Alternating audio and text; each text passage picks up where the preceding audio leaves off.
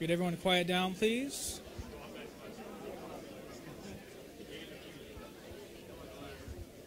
All right, we're about to start here. Hello, everyone. Welcome to tonight's debate Was Jesus Raised from the Dead? My name is Chris Glasser. I am the president of the Secular Student Alliance here at Western Michigan University.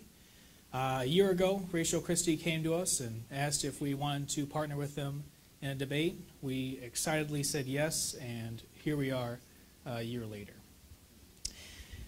I'm proud to introduce tonight, debating against the proposition that Jesus rose from the dead, John W. Loftus. Mr. Loftus is a former Christian minister with a bachelor's degree from Great Lakes Christian College, two master's degrees from Lincoln Christian University, and a master's of theology degree from Trinity Evangelical Divinity School, with half of those hours studying under the well known Christian apologist William Lane Craig. Mr. Loftus has written several books, including Why I Became an Atheist, the Christian Delusion, and The Outsider Test for Faith. He also writes on his website, Debunking Christianity. Please help me welcome to the stage John W. Loftus.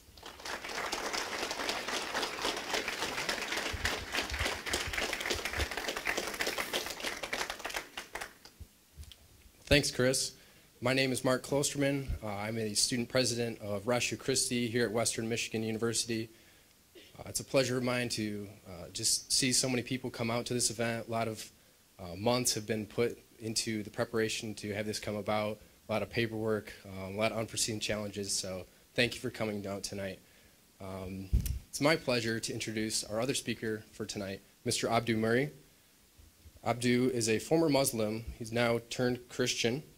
He received his bachelor's in arts and psychology from the University of Michigan his Juris Doctor at the University of Michigan Law School. He's named several times to the best lawyers in America and Michigan's super lawyer. He's a scholar in residence of Christian thought and apologetics at the Josh McDowell Institute of Oklahoma Wesleyan University. He's authored two books and works as the North American director and speaker at Ravi Zacharias International Ministries. Would you please help me in welcoming to the stage Mr. Abdu Murray?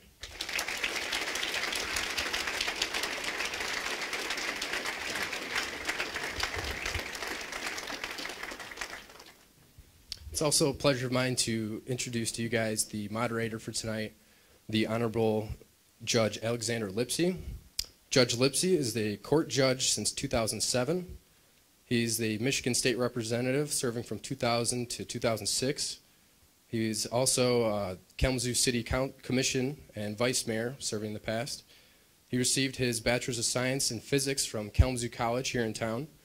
Uh, he's also received his Juris Doctor at the University of Michigan so would you please helping me and welcoming to the stage the Honorable Judge Alexander Lipsey.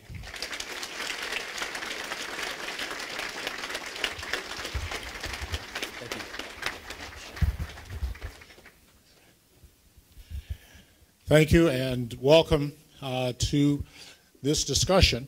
Um, there are a couple things that I do need to make sure I cover. Not the least, not the least of which being uh, that this is uh, an opportunity for us to have uh, this rather profound uh, conversation. And I emphasize the word conversation because uh, this is, I guess, as I was saying to one of our speakers, an opportunity for us to understand that we can disagree, but we can have conversations that bring us closer together in terms of, of understanding each other and uh, recognizing kind of where people are coming from. Uh, my pastor uh, at uh, North Presbyterian Church likes to talk about uh, faith and the fact that faith, uh, the opposite of faith is, is not doubt. The opposite of faith is certainty. if you certainly know something, then you have no room for faith. but if you doubt, then you're open to faith. And this is an opportunity for us to have that discussion, that conversation that hopefully will bring us closer together in terms of how uh, we live our lives and how we live in this community. Um, basically, uh, at this particular point, the format, I believe, is in your um, program. Uh, we will have uh, the opening statements um, followed by uh, rebuttal time. Uh, there will be something called cross-examination uh, and closings, and then we will have opportunity for questions and answers a little bit later in the process. But you're not here to hear me. You're here to hear our speakers. So with that, we will begin uh, with Abdu and uh, his presentation.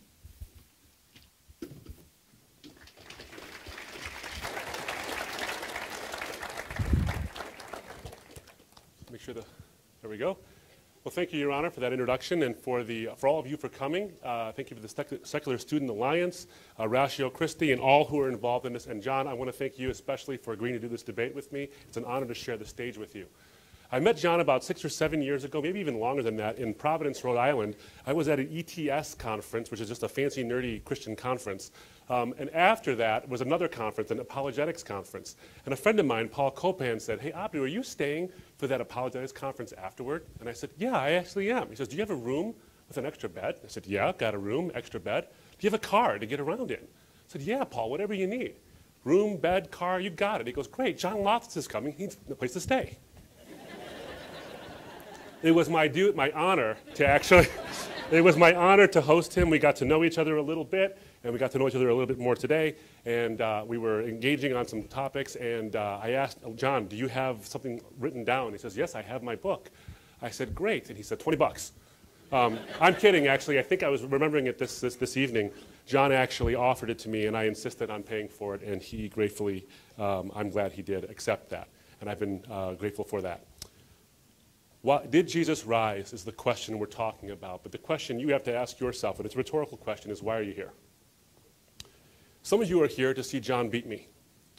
Some of you are here to see me beat John. Some of you are actually on the fence. Why are you here? Now, in prior debates, and I assume today to some degree, John will go into the idea of confirmation bias. What confirmation bias is, is that people tend, from different perspectives, to look at evidence differently. People who want, it to, believe, to, want to believe it one way will look at it and discount some things and affirm other things that help them to conform to their worldview. That's how confirmation bias works. Everyone is subject to confirmation bias. I know John has spent some time chiding Christians for being guilty of confirmation bias and not really examining the other evidence. And he said in prior debates that if you hear him as a Christian, you'll just discount what he says because you don't want to believe what he has to offer. The reality is, is that everyone, everyone in this room, you, me, John Loftus, is subject to confirmation bias. Some of us want to be atheists, like philosopher Thomas Nagel. We hate the idea of God and so cling to atheism despite its problems. Or we want Christianity to be false because of some moral choice we want to make, have made, or trouble in the church, whatever it is. There's a million reasons to be a disbeliever, and there's a million reasons to be a believer. And most of them are personal. Now, John might say, I was once a Christian philosopher or a Christian um, who came to, uh, lost my faith because I looked at the evidence, overcame my confirmation bias, saw the evidence, saw it was lacking. I have two responses to this. We're both still subject to this. I make a living based on preaching the gospel. That's what I do. John makes at least part of his living, um, if not all of it, on his many books that he's written debunking Christianity. He's got a website called Debunking Christianity. So we both have a vested interest in looking at the evidence the way we'd like to look at it. But I will tell you this I didn't come to the faith of Christianity willingly, at least not originally. I was a Muslim, and I very much didn't like the idea of Jesus' death and his resurrection specifically, and the gospel in general. So I didn't want to believe it. But over the course of a long search, I began to see that I thought the evidence was really there. There was going to be consequences to my belief, some bad consequences. One, I'd lose my identity. Two, I had to change my worldview, and that's really hard to do. And three, there'd be other consequences as well. I won't go into that. But I saw the evidence and the strength of it, and it moved me, and it changed my life, but it also was beautiful in its truth. And I thought it was truly beautiful. So, my argument for you today about the evidence is this I think the resurrection is the best explanation for the evidence of what happened to Jesus based on facts acknowledged by the majority of scholars, Christian and non Christian, studying the subject. Now, what is that evidence? Well, we have a couple of facts about Jesus that we know about. One is that he was crucified and he died. I'm not going to spend a lot of time on this because I think, if I'm not mistaken, John and I actually agree. Jesus died. He thinks he stayed dead. I think he actually died and rose. But we don't disagree on this. Jesus died by crucifixion. So that's the first part. Now, why do I bring that up? Because in order to rise from the dead, You've got to be dead first. That's kind of how it works. but the next part is the, is the rub the appearances. I believe that there is evidence, and the vast majority of scholars studying the subject, Christian and non Christian, will acknowledge that the disciples and Paul had experiences that, they were that, they, that convinced them that Jesus had risen from the dead after his crucifixion. What are the sources for this? We have primary sources, we have secondary sources, and these kind of things. I'm going to focus on some sources because we don't have time to focus on all the sources, but here's some sources I want to focus on. One is some of the, is the Gospels. I think the Gospels, and the majority of uh, scholars will tell you that some of the Gospels have some wonderful evidence in them, firsthand accounts. This is not, uh, oh, I didn't even turn it on, so that, that will help a lot, I think. We have the Gospels. Most scholars will tell you, the majority of scholars will tell you that Mark's Gospel is based on Peter's account, the Apostle Peter's account. Now, I have a friend, his name is J. Warner Wallace. Jim Wallace is a very famous homicide detective. He's famous enough to be on Dateline numerous times because of the number of cold cases he solves. Keith Morrison calls him the evidence whisperer. He was a dyed in the wool hardcore atheist until age 35, I believe it was. Now, he is an expert in, uh, in analyzing whether certain statements are eyewitness testimony or fabrications. And at the age of 35, he employed a technique called forensic statement analysis, and he did it on the Gospel of Mark and having concluded that the Gospel of Mark is indeed based on eyewitness testimony from Peter, among others, he gave his life to Jesus, believing in the resurrection on the strength of that evidence as a dyed in the wool atheist. Next, we have the Gospel of Luke. The Gospel of Luke has several sources. The majority of scholars will tell you the Gospel of Luke has Paul as one of his sources, the Apostle Paul, who's eyewitness to the resurrection. Q, which is a theoretical source uh, that Mark and uh, sorry that Matthew and Luke drew on, and Mark itself, the Gospel of Mark, which is based on Peter, and it has some eyewitness testimony of its own. Let me give you an example of this. If you look at Luke chapter 24, you see this story of Jesus talking with, uh, he comes to, after his resurrection, two disciples on the road to a thing called Emmaus. And in the story, Jesus' identity is, is occluded from them, but Luke goes out and mentions one person's name. He mentions Cleopas as one of the guys. Now, why does he mention Cleopas? He's not an important disciple. He doesn't have a record after him of anything. Why did he do that? Many scholars will tell you, Richard Bauckham as one example, will tell you that the reason why Luke mentions him, and this is one example of this, is because Cleopas told him the story. Cleopas is the eyewitness upon which Luke writes the basis. And if you read it with that in mind, you actually look at the story now and you can begin to see it sounds like Cleopas is telling the story. It's an eyewitness account. And then the Gospel of John. The Gospel of John, the majority of scholars will tell you that John's Gospel is based on one of the disciples. Some say it's the Apostle John, others say it's at least one of the disciples. So we have these accounts. The Gospels tell you about the life, the death, and the resurrection. Every single one of them says this about Jesus, and they're based on these accounts, which result, in, result from eyewitness accounts. And then we have Paul's testimony. Paul, by his own admission, was a persecutor of the church who became a Christian after having seen with his own eyes the resurrected Jesus. And he says that he converted from that hostility to Christianity based on that. Now, what happens with Paul? It's interesting when you see what, what, uh, what goes on with Paul. He claims to have seen the, risen Christ. In Galatians, another letter of Paul, Paul goes and says that he spent time, 15 days, with Peter and James. He spends time with them. And spending two weeks with Peter and James, my guess is in 15 weeks, Jesus came up. 15 days. That Jesus came up once in a while. And they didn't change his, his, his, uh, his gospel. In other words, he said, I saw him raised. They gave him the right hand of fellowship. He says in the same book that 14 years after his conversion, he went to Jerusalem, saw Peter and James again, but also now John. They discussed the gospel, and he says, and they added nothing to me. They did not change a thing about what I was saying. So he was preaching the risen Christ based on his eyewitness testimony. They were doing the same thing, and they were agreeing on this. Now, you might say, and I'm a lawyer, so I'm a little bit skeptical of these things, I'm a little cynical. Maybe Paul's lying. Maybe Paul didn't go and do this. Maybe Paul didn't get his doctrine and his, his um, eyewitness testimony certified by the disciples of Jesus. I want another witness. We have two. We have Clement of Rome. Clement of Rome is a disciple of Peter. And as a disciple of Peter, he knows Peter, he knows what Peter teaches. Clement says that Paul is on a par, his authority is on par with Peter himself. So Clement certifies what Paul said. He could have said Paul's lying. He didn't say it. He said the opposite. Paul is on par with Peter. Then we have Polycarp. Polycarp was a disciple of John, the Apostle John. Polycarp thinks so highly of, of Paul that he calls his letters sacred scripture. So he clearly thinks that Paul and John are teaching the same thing.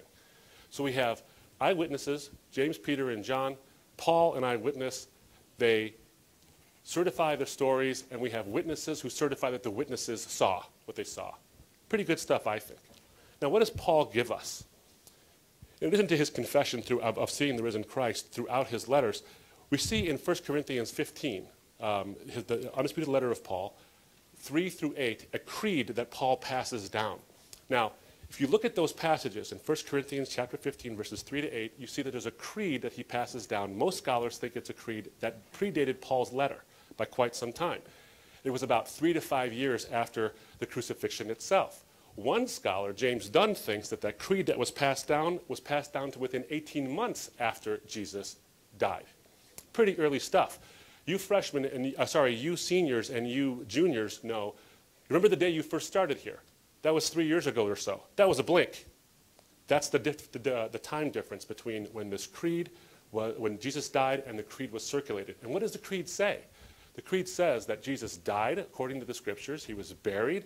He was raised. He appeared to Peter or Cephas. Then he appeared to James, then the 12, then the 500, and then to Paul. That was circulating publicly within the Christian community between 18 months and five years after the crucifixion itself. We have tons of great uh, evidence, I think, that people in that era actually were convinced they saw Jesus risen from the dead. Now, we know they believed it with a strong conviction or willing to suffer and die from it. Some, in fact, did actually suffer and die for it. Others were just willing to do that. And we know this based on that history. In fact, so strong is that history that non Christians, like atheist Gerd Ludemann, not a Christian, he's an atheist, says it may be taken as historically certain that Peter and the disciples had experiences after Jesus' death in which Jesus appeared to them as the risen Christ. Rudolf Bultmann agreed that historical criticism can establish, quote, the fact that the first disciples came to believe in the resurrection. Paula Fredriksen, who's not a Christian, who's a professor of history out of University of Boston, I think that she's now actually, or Boston University, she's now at Hebrew University, I believe, she said, the disciples' conviction that they had seen the risen Christ are facts known past doubting. And in fact, in an interview on, with Peter Jennings, she made this statement I know in their own terms what they saw was the raised Jesus. That's what they say, and then all the historic evidence we have afterwards attests to their conviction that that's what they saw. I'm not saying they really did see the raised Jesus. I wasn't there. I don't know what they saw, but I do know that as a historian, they must have seen something that convinced them that Jesus was not just a survivor or the twin or whatever it is, but that he was the risen Christ. Pretty good stuff. Now you might be saying, well, a lot of the testimony comes from Christians. Certainly not these folks. These are all non-Christians who I just quoted to you. But ah, Peter and James, and these are all Christians. Of course they say this. Well, it would be funny, wouldn't it, if someone saw the risen Jesus, they knew he died, saw him raised, or saw him risen, and he says, follow me. And they're like, nah, no thanks. I don't buy it. That'd be a strange thing. You think that they would actually follow Jesus. Why? Because he rose from the dead. And guys who rise from the dead have credibility. But we have something more than that. We have more than just those folks. Let's say you wanted a hostile witness, someone who was a skeptic, who was not only a skeptic, but also someone who hated the church and wanted it destroyed. Now, what if that guy saw the risen Jesus and he converted? Wouldn't that be something? You know, as a trial lawyer, I'll tell you, one of the things you look for as a trial lawyer is that kind of testimony. You find someone who's disputed your case over and over again throughout the whole case, and then they suddenly change their mind based on the evidence they, that they see, and they say, you know what, you're actually right. Well, my goodness, you put that person on the stand and you let them sing their song all day and all night, if the judge will let you do it, uh, as long as possible for the jury, you, the jury, to see it, to hear it. We have that kind of testimony in two people James, Jesus' brother, to one degree, and Paul to a greater degree. The evidence shows that James was a skeptic of his brother Jesus. He didn't believe him. He thought he was, a, he thought he was kind of a kook. I have the references there on the slide. But Paul, oh, but James becomes the leader of the Jerusalem church after seeing the risen Jesus. Now, Paul is, a, is another story altogether. Paul hated the church. By his own admission and by scholarly consensus, Paul persecuted the Christian church, and then he converted based on his claim that he saw the risen Jesus. That's pretty, that's pretty great. That's the kind of uh, testimony that trial lawyers drool over. Now, you'd have to invent a highly unlikely story to account for these conversions. Both James and Paul, Paul especially, had every reason not to convert, except for the fact that they truly believed that they saw the bodily risen Jesus.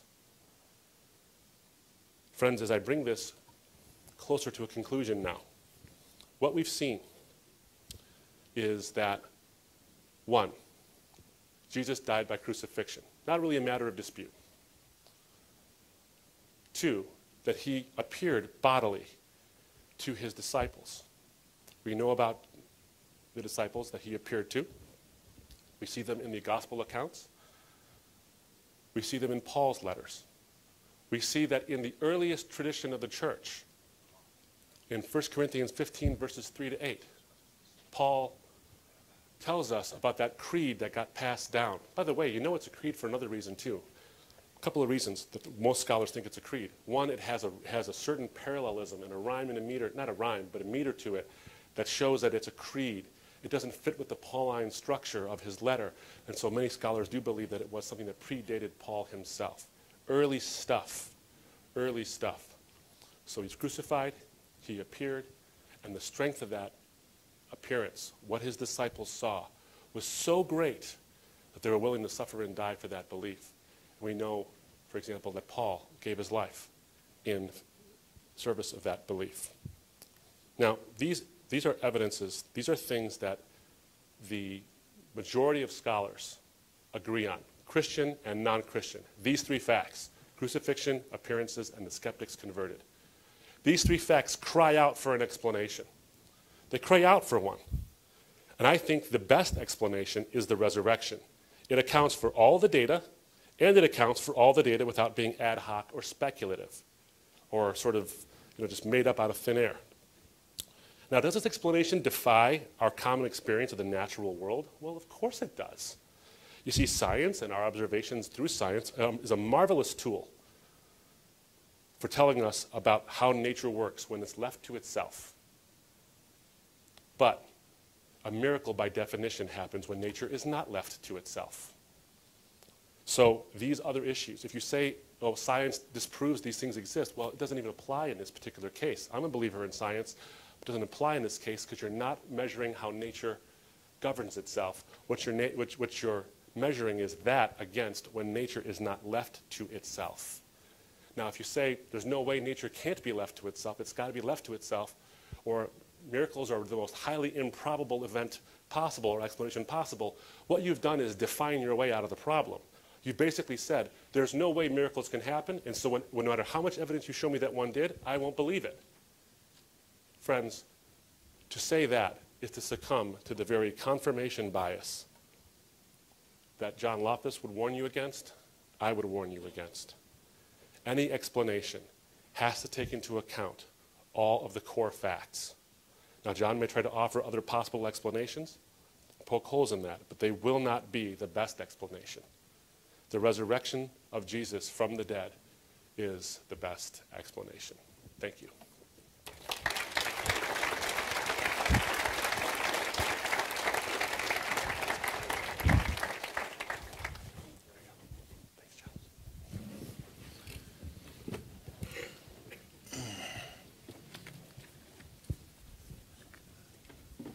Good job, Abdu. Good job. Uh, I wouldn't want to be facing you as a, as a lawyer, that's for sure. Uh, I'm very honored. Oh, by the way, uh, his description of us uh, sleeping together, I deny it. we did not sleep together. Uh, a good friend, uh, and I appreciate him very much. So, let me begin. I'm very honored to be here and uh, happy that somebody actually showed up to watch and listen to our debate. I can't wait to hear what I have to say myself.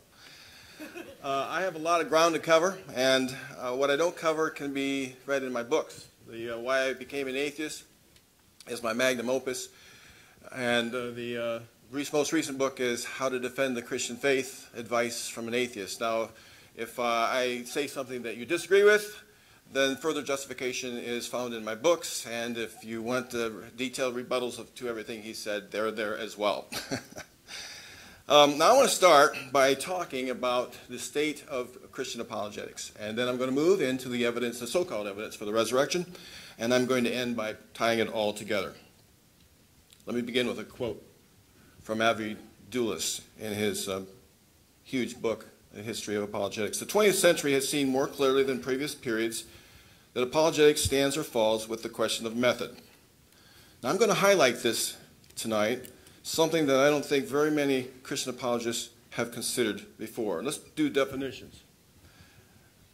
Uh, apologetics, defending the Christian faith. Method, developing the most effective strategy for defending the faith. Now, I'm going to argue that all apologetics is special pleading. Everything said in defense of Christianity operates by an unreasonable double standard. Apologists treat Christianity differently than they treat the evidences of all other religions that they reject. Case in point has to do with the method itself.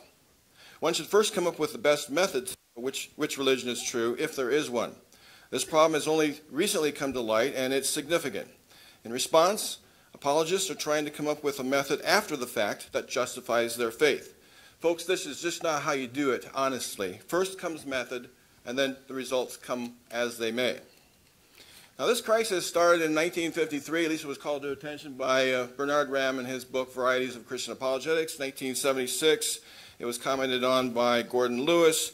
2000, the debate is still raging with five apologetics views in uh, Steven Cowan's book. And 2006, Kenneth Boa and Robert uh, Bowman commented on it. And those are only just a few of the books. There's actually a spate of them and hundreds of essays and articles. Let's go through these um, methods. First, the evidential method. And that And there is historical evidence alone is sufficient to believe Jesus arose from the dead and that God exists. Now, I have no bone, bone to pick with this method. It's the only reasonable method for assessing the truth of religious faiths. It requires sufficient objective evidence to believe. I just disagree that it leads to Christianity. The kicker is that so do most Christian apologists. It's an admitted failure.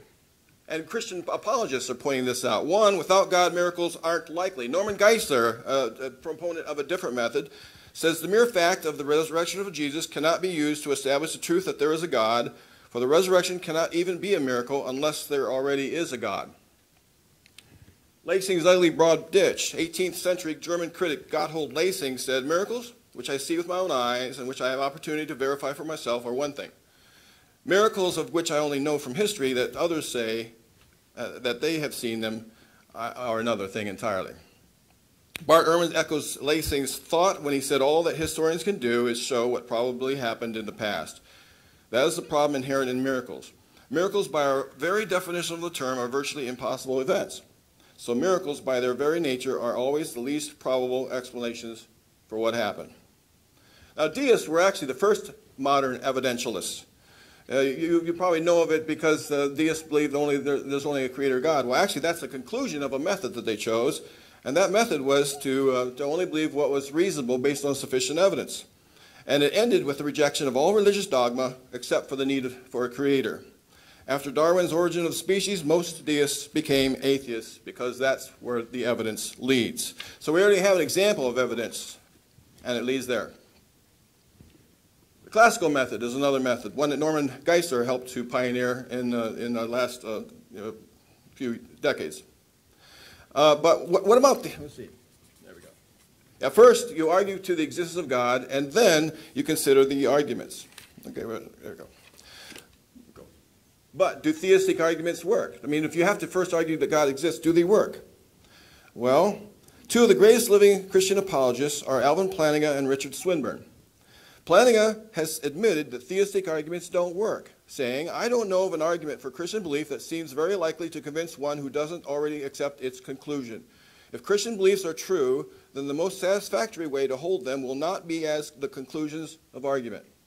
Richard Swinburne specifically rejects the moral argument to God's existence, saying, I cannot see any force in an argument to the existence of God from the existence of morality.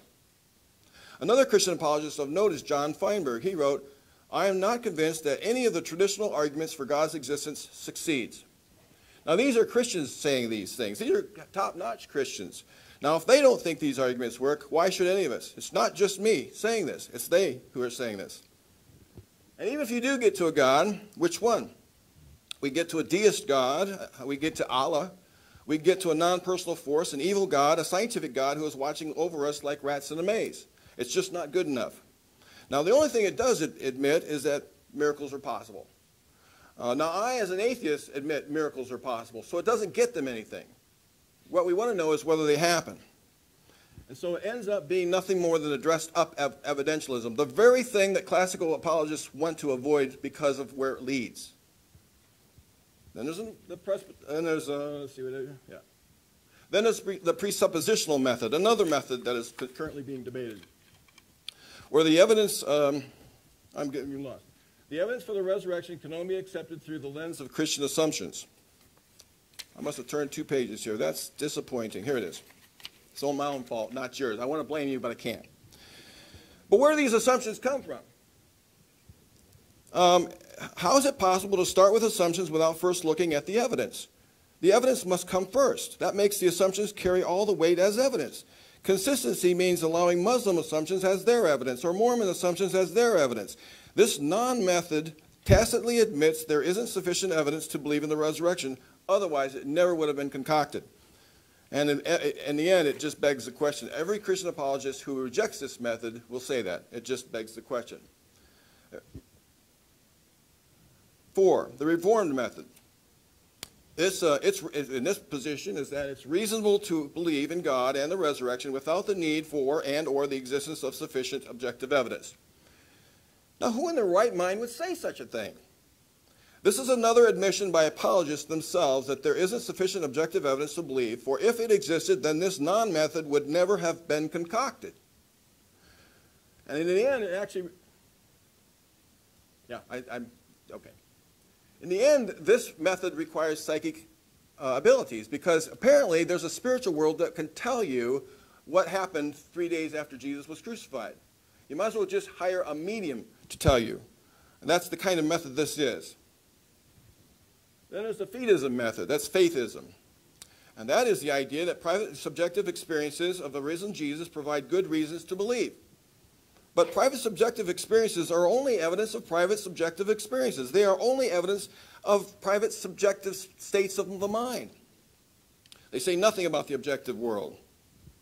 I don't mean to um, insult anybody, but this is a method of insanity. Insane people walking in psych wards who say they think that they're Jesus use this same method. And, in the end, it's an un unreliable method as a historical way to, to, figure out what happened in, three days after Jesus was uh, crucified. Uh, private subjective experiences cannot tell us if historical evidence shows Jesus resurrected. Just think of Custer's last stand. Is there any way to know what happened at Custer's last stand except looking at the evidence?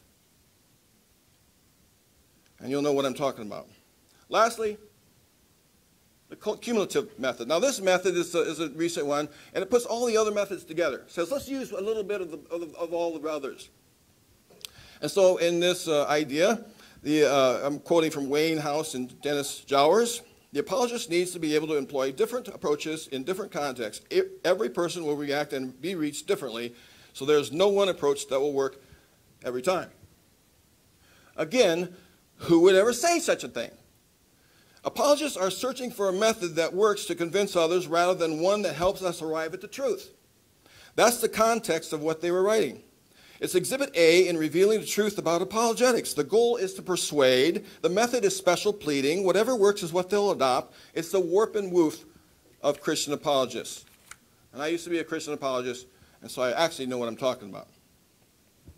The cumulative method, however, is like mixing oil and water. I'd like to see someone actually uh, harmonize evidentialism with cl the classical method with presuppositionalism and fideism.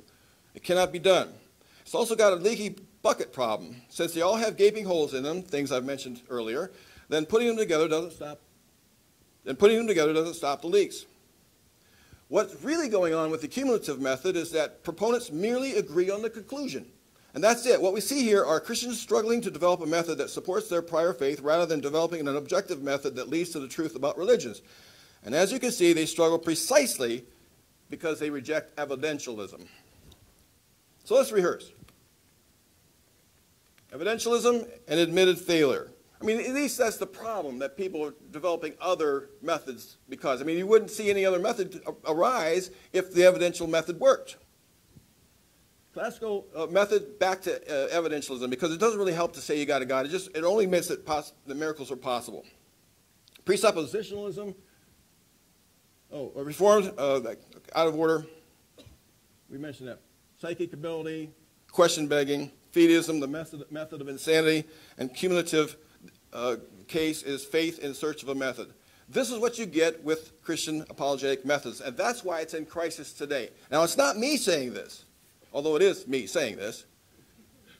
It's Christian apologists themselves. You read the literature, you see what they're debating in, in, these, uh, in these books about a methodology, and you'll see that they're actually struggling for a way to justify their faith rather than looking at a good method and seeing what results from it. So the kicker. Since there are six major methods, any, then any given one of them is rejected by 83% of the apologists, if we grant for the moment that they all have the equivalent amount of defenders. That means 83% of the apologists reject the need for and or the existence of sufficient objective evidence. Now I propose a method.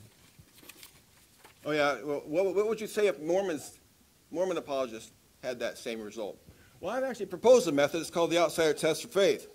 That the only way to test religious faith is from the perspective of an outsider, applying the same consistent level of reasonable skepticism to them all. And I've defended it in my book. And uh, I suppose that that when they take that test, they're not going to actually like what, they what the result is. Sorry. so, do this. Let's do the resurrection of Jesus. Assume you've never heard about Jesus or Christianity, and that Abdu is a missionary from China preaching Yingyadi, a newly discovered religion.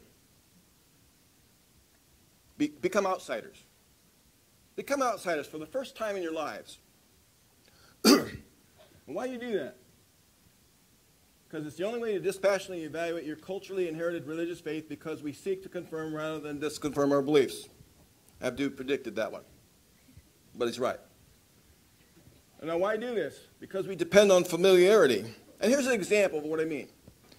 If you're a Christian, you see nothing bizarre about a gospel story involving one member of a Trinitarian God who came down to earth by being born of a virgin, who was 100% God, yet 100% man, to be killed so that the other two members of the Trinity could forgive people who believed that story, and then was raised from the dead and ascended into the sky to return to the Trinitarian throne, bringing back to reign with him the sinless man Jesus, who is now forever joined with him at the hip.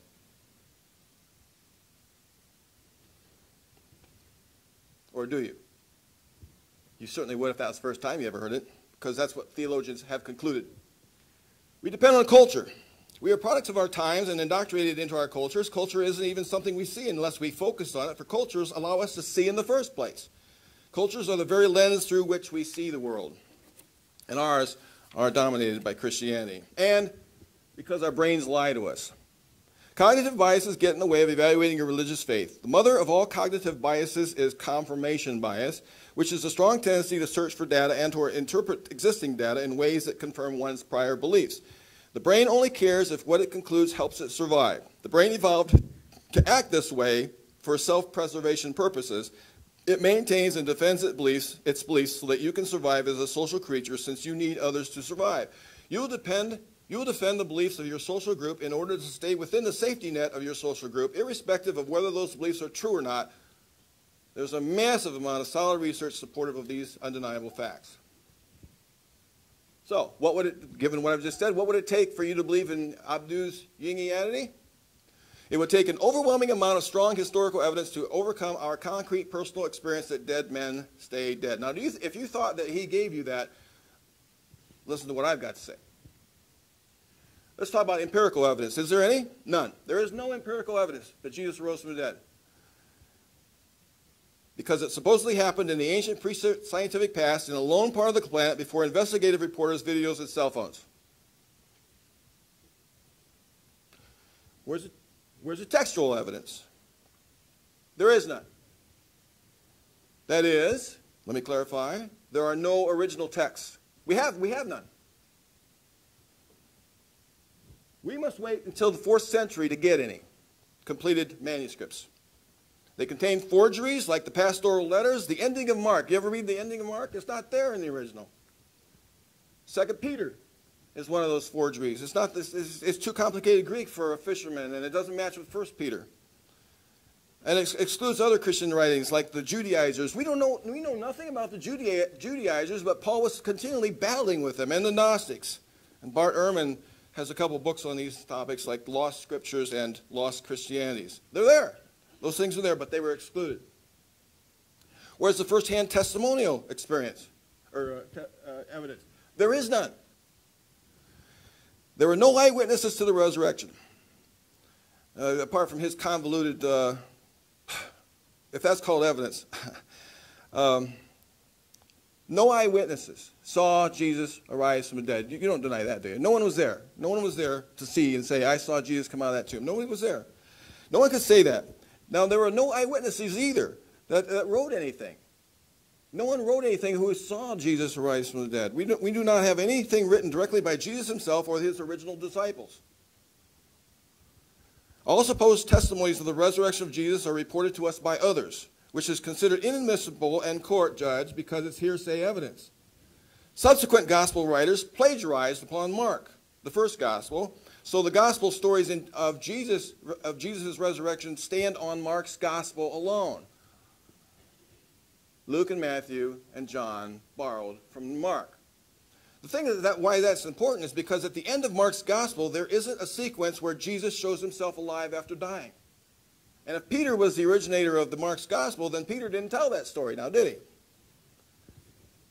There's no chance to question them. You know, you've got to question somebody. That's why hearsay is is not allowed in the courtroom. How do we really know what they actually testified to? Did they actually see the risen Jesus as claimed? Did they all tell the same story? Did any of them recant later? We know enough about the Mormon uh, religion to say, well, some of them recanted later, but we don't about um, the Jesus uh, story. Paul is the only writer to claim that he's seen the risen Jesus, and his letters are the earliest testimony. And on the Damascus Road, he never claimed to have actually seen or touched Jesus. He specifically said it was a visionary experience, and they had plenty of visionary experiences and revelations. He says he had the Lord's Supper revealed to him in a vision. He even said that the gospel itself was revealed to him in a, in a vision. The book of Revelation was dictated uh, to seven letters to seven churches in the first two in the chapters 2 and 3, and that was delivered in a vision. Now, if someone came up to you tomorrow and said, I had a vision and I got seven letters to church, seven churches, would you believe that? Those are private, subjective experiences, and there's no reason to believe them. Let me go on. Where's the prophetic evidence? There is none. Looks like I got to go faster here. Now, if you want to see that defended, you, get, you need to read my books because I've got to move on. There is no prophetic evidence. I defy someone to come up with one statement in the Old Testament that is specifically fulfilled in the life, death, and resurrection of Jesus that can be legitimately understood as a prophecy and singularly points to Jesus as the Messiah using today's historical, grammatical, hermeneutical method. method and I, I claim it cannot be done. There's no, no prophecy of a Trinitarian God, no prophecy of an incarnation of a virgin birth, no prophecy of a dying Messiah. The suffering servant is about Israel. And the Psalms are only devotional prayers. They're not, they were not intended to be a prophecy. They're taken out of context when the New Testament uses them. And corroborative evidence. Where's the corroborative evidence? There is none. Again, you know how many times this, this phrase pops up? There is none? A lot. Because it's true. Nothing is said Nothing, we have nothing from contemporaries. We don't have anything written by the Jewish leaders or by the Romans that mentions Jesus, the content of his preaching, why he was killed, or what they thought about claims that he had been resurrected. Now, wouldn't you want to know, when assessing the truth of whether Jesus rose from dead, what they said? We don't have that evidence. You know they said something because they weren't converted. We just don't have that evidence. Either it was squelched or it wasn't available. But wouldn't you want to know what they said? They said something and no corroborative evidence of bizarre stories of zombies, earthquakes, and eclipses. We have no independent reports that the veil of the temple was torn in two at Jesus' birth or death, nor any dark, nor that darkness came over the whole land from noon till three, nor that the sun stopped shining, nor that there was an earthquake as, as death, with another violent one the day he rose from the grave, nor that the saints were raised from, from uh, death at his resurrection, went into the holy city, and appeared to many people and were never heard from again. Could these events really have occurred without subsequent Roman rabbinic, or rabbinic literature mentioning them. These silences are telling. So let's re re review. No empirical evidence, no original text, no first-hand testimony evidence, no prophetic evidence, no, no, uh, no, uh, no corroborative evidence. Now, case in point, the Jews. They, they were beloved of God. They believed in God. They believed God does miracles. They were there in the day. They hoped for a Messiah. They knew their prophecies. And they didn't believe. Eight million Jews existed in those days. And what we have is very, very few Jews actually converted. So it's that Paul had to go to the, uh, the, uh, the, the, Gentiles to get convert converts because the Jews wouldn't convert. Now, if you think that that counts, uh, then you should uh, consider that. And I just have one thing to say. This is a book. This is a book written by a Jew, not an atheist. It's the best thing out there. So if you think that believing in God leads you to have more uh, um, of a desire to believe, then think again. This is Michael Alter's The Resurrection, a critical um, inquiry. One last okay. thing. well, I have 10 minutes of, of uh, rebuttal, so you may want to cover it at that right. particular point. All right. Uh, I'm not good at time. Thank you so much.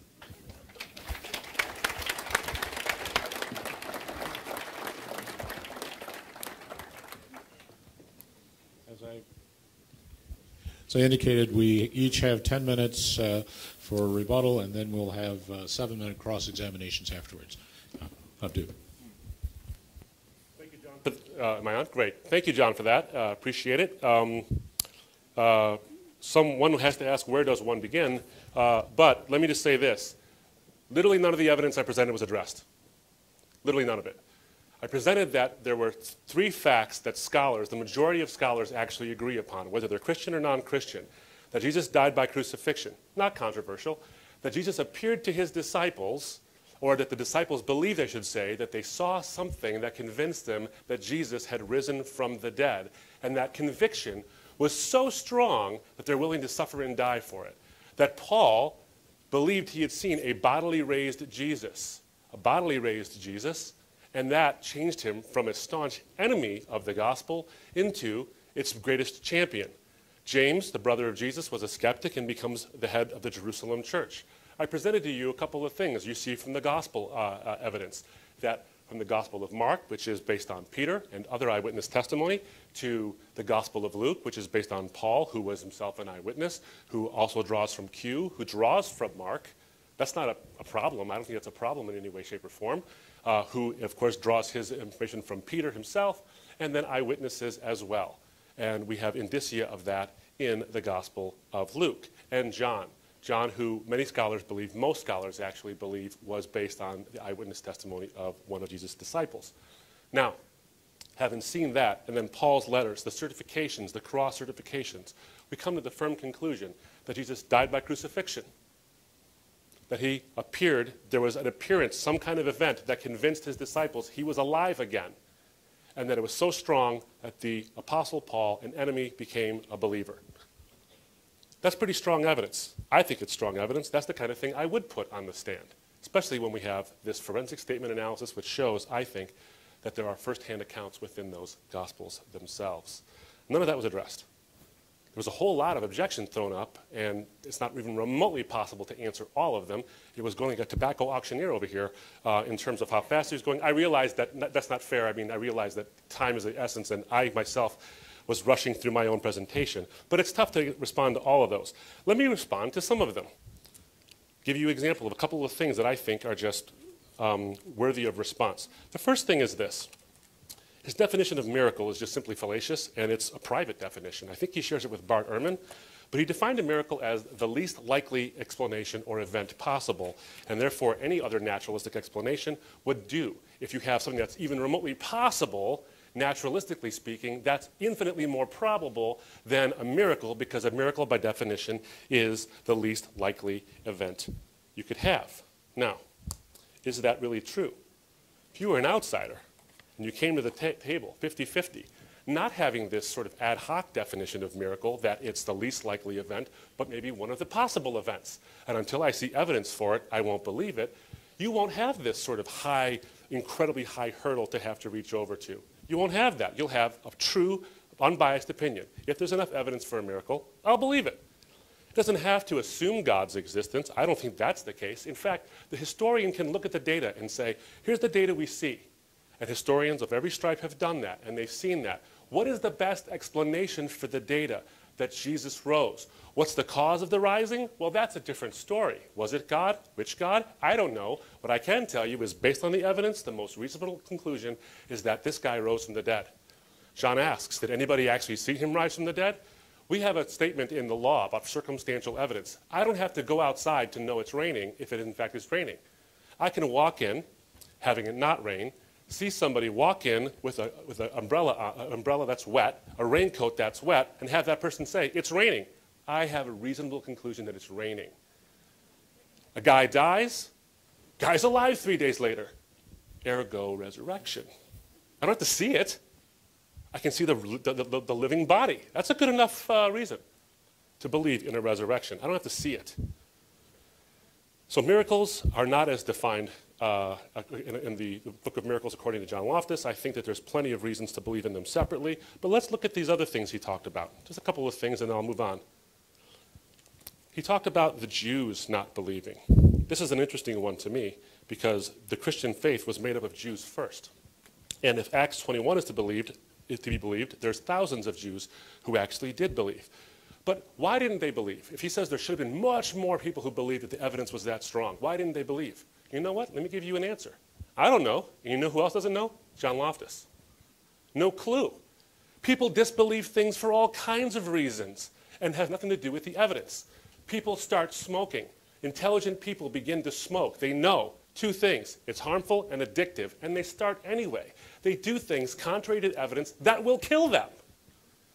So the evidence could have been very strong for the resurrection, and people disbelieved it for whatever reasons. Let me venture some. We know, for example, about the Bar Kokhba rebellion, is that early after the Christian movement started, a number of Jews, one guy named Bar Kokhba actually set himself up as a Messiah. And the Messianic Jews, the budding movement, would not fight the Romans under the, under the banner of a false Messiah. So they abandoned the fight, and the Jews were wiped out. They were wiped out. Now, many of the non Messianic Jews who were looking at the Messianic Jews as people, compatriots, now saw them as traitors, and now they were suspicious of the movement. In fact, Richard Bauckham points out that that very incident is what caused a huge rift between the Messianic movement and the non Messianics in, in Judea very early on. So they might have had political reasons not to agree with them. Plenty of reasons why not. In fact, here's an interesting fact. When Bar Kokhba was, was annihilated by the Romans, his followers refused to even acknowledge they knew him. So what you have in a Semitic culture, I come from a Semitic culture. I know what they're like. I know exactly what it's like.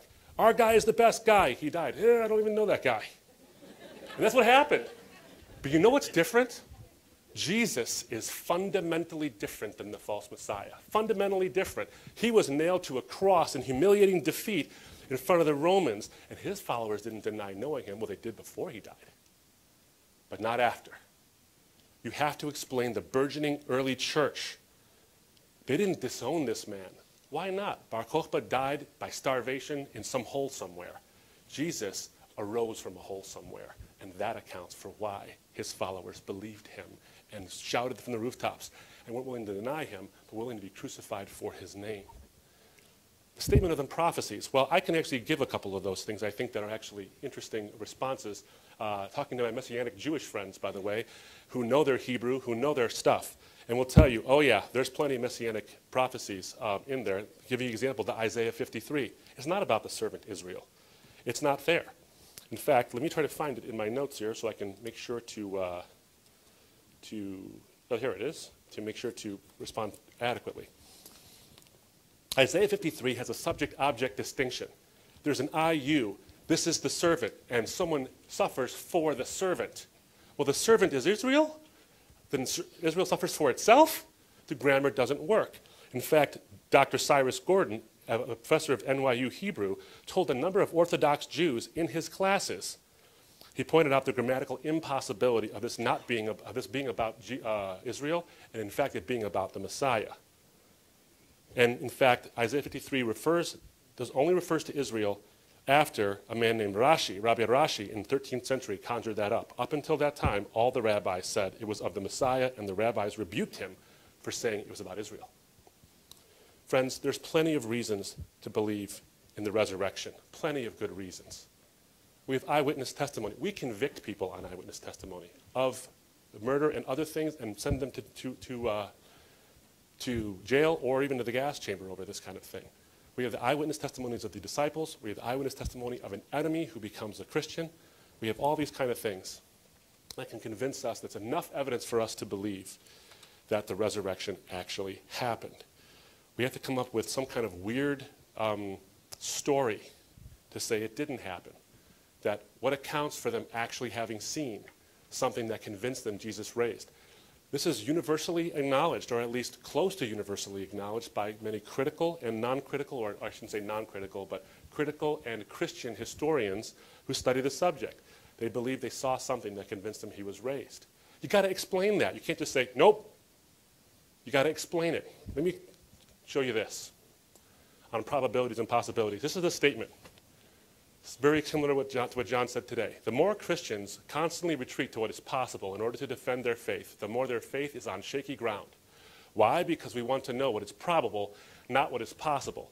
If we ask Christians to defend a particular belief and they argue such a belief isn't impossible, then this is a tacit admission that instead of evidence supporting what they believe, they're actually trying to explain away the evidence the more often Christians are forced into arguing their faith is merely possible in the face of contrary evidence rather than probable, then the less likely it is that their faith is true.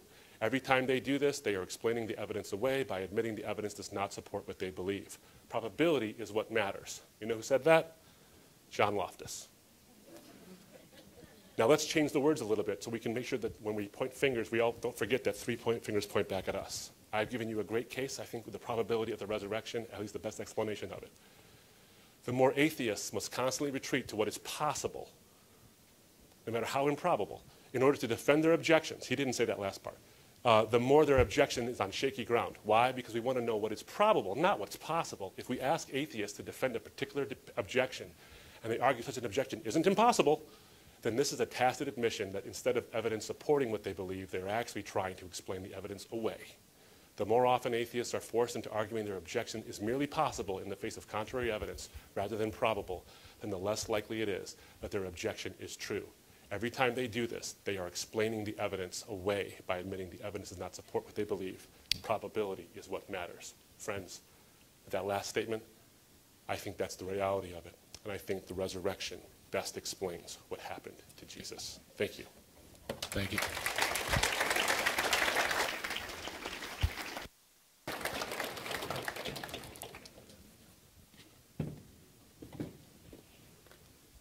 Abdu's good, isn't he?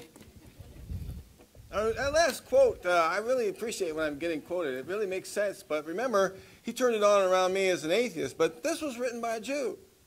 See, an atheist would be anyone who disagrees with his Christianity. Michael Alter then is an atheist. He, that is, he's a non believer. He doesn't believe in Christianity. So uh, apparently it applies to believers like Alter, a theist, a Jew, who wasn't persuaded by the evidence that um, Abdu is, is presenting. See, I'm not alone in this. Hindus disagree with him, Muslims disagree with him, um, and um, I'm just here to report the results. It's fun to do. Actually, I can read what Christians say and report the results. That's what I did when it came to the apologetic methodology. I just simply report, reported the results. Christians themselves are saying the things that I reported about method. Um, and uh, he talks about confirmation bias again. Uh, you know, first you have to have something to believe for confirmation bias to kick in. So, a Christian like himself has a belief in Christianity, and that's when the confirmation bias kicks in. And what I've done in the Outsider Test for Faith book is to try to eliminate or nullify the confirmation bias so that we can all uh, apply the same standards to all religions across the board without it. And that is to look at your faith as an outsider would, someone who'd never heard about it before, and someone who's dispassionately trying to figure out whether or not it's true rather than confirm it, because that confirmation bias is the mother of all biases. it'll, it'll skew the results every time if you have a bias towards confirming what you believe. And so uh, you should test your religious faiths as an outsider, a non believer, an agnostic. Test them all the same way. And if God cannot produce the evidence to convince outsiders, then uh, he didn't do his job. That's all there is to it. Uh, there'd be no reason to believe it if uh, the, uh, the correct faith could not pass that uh, test.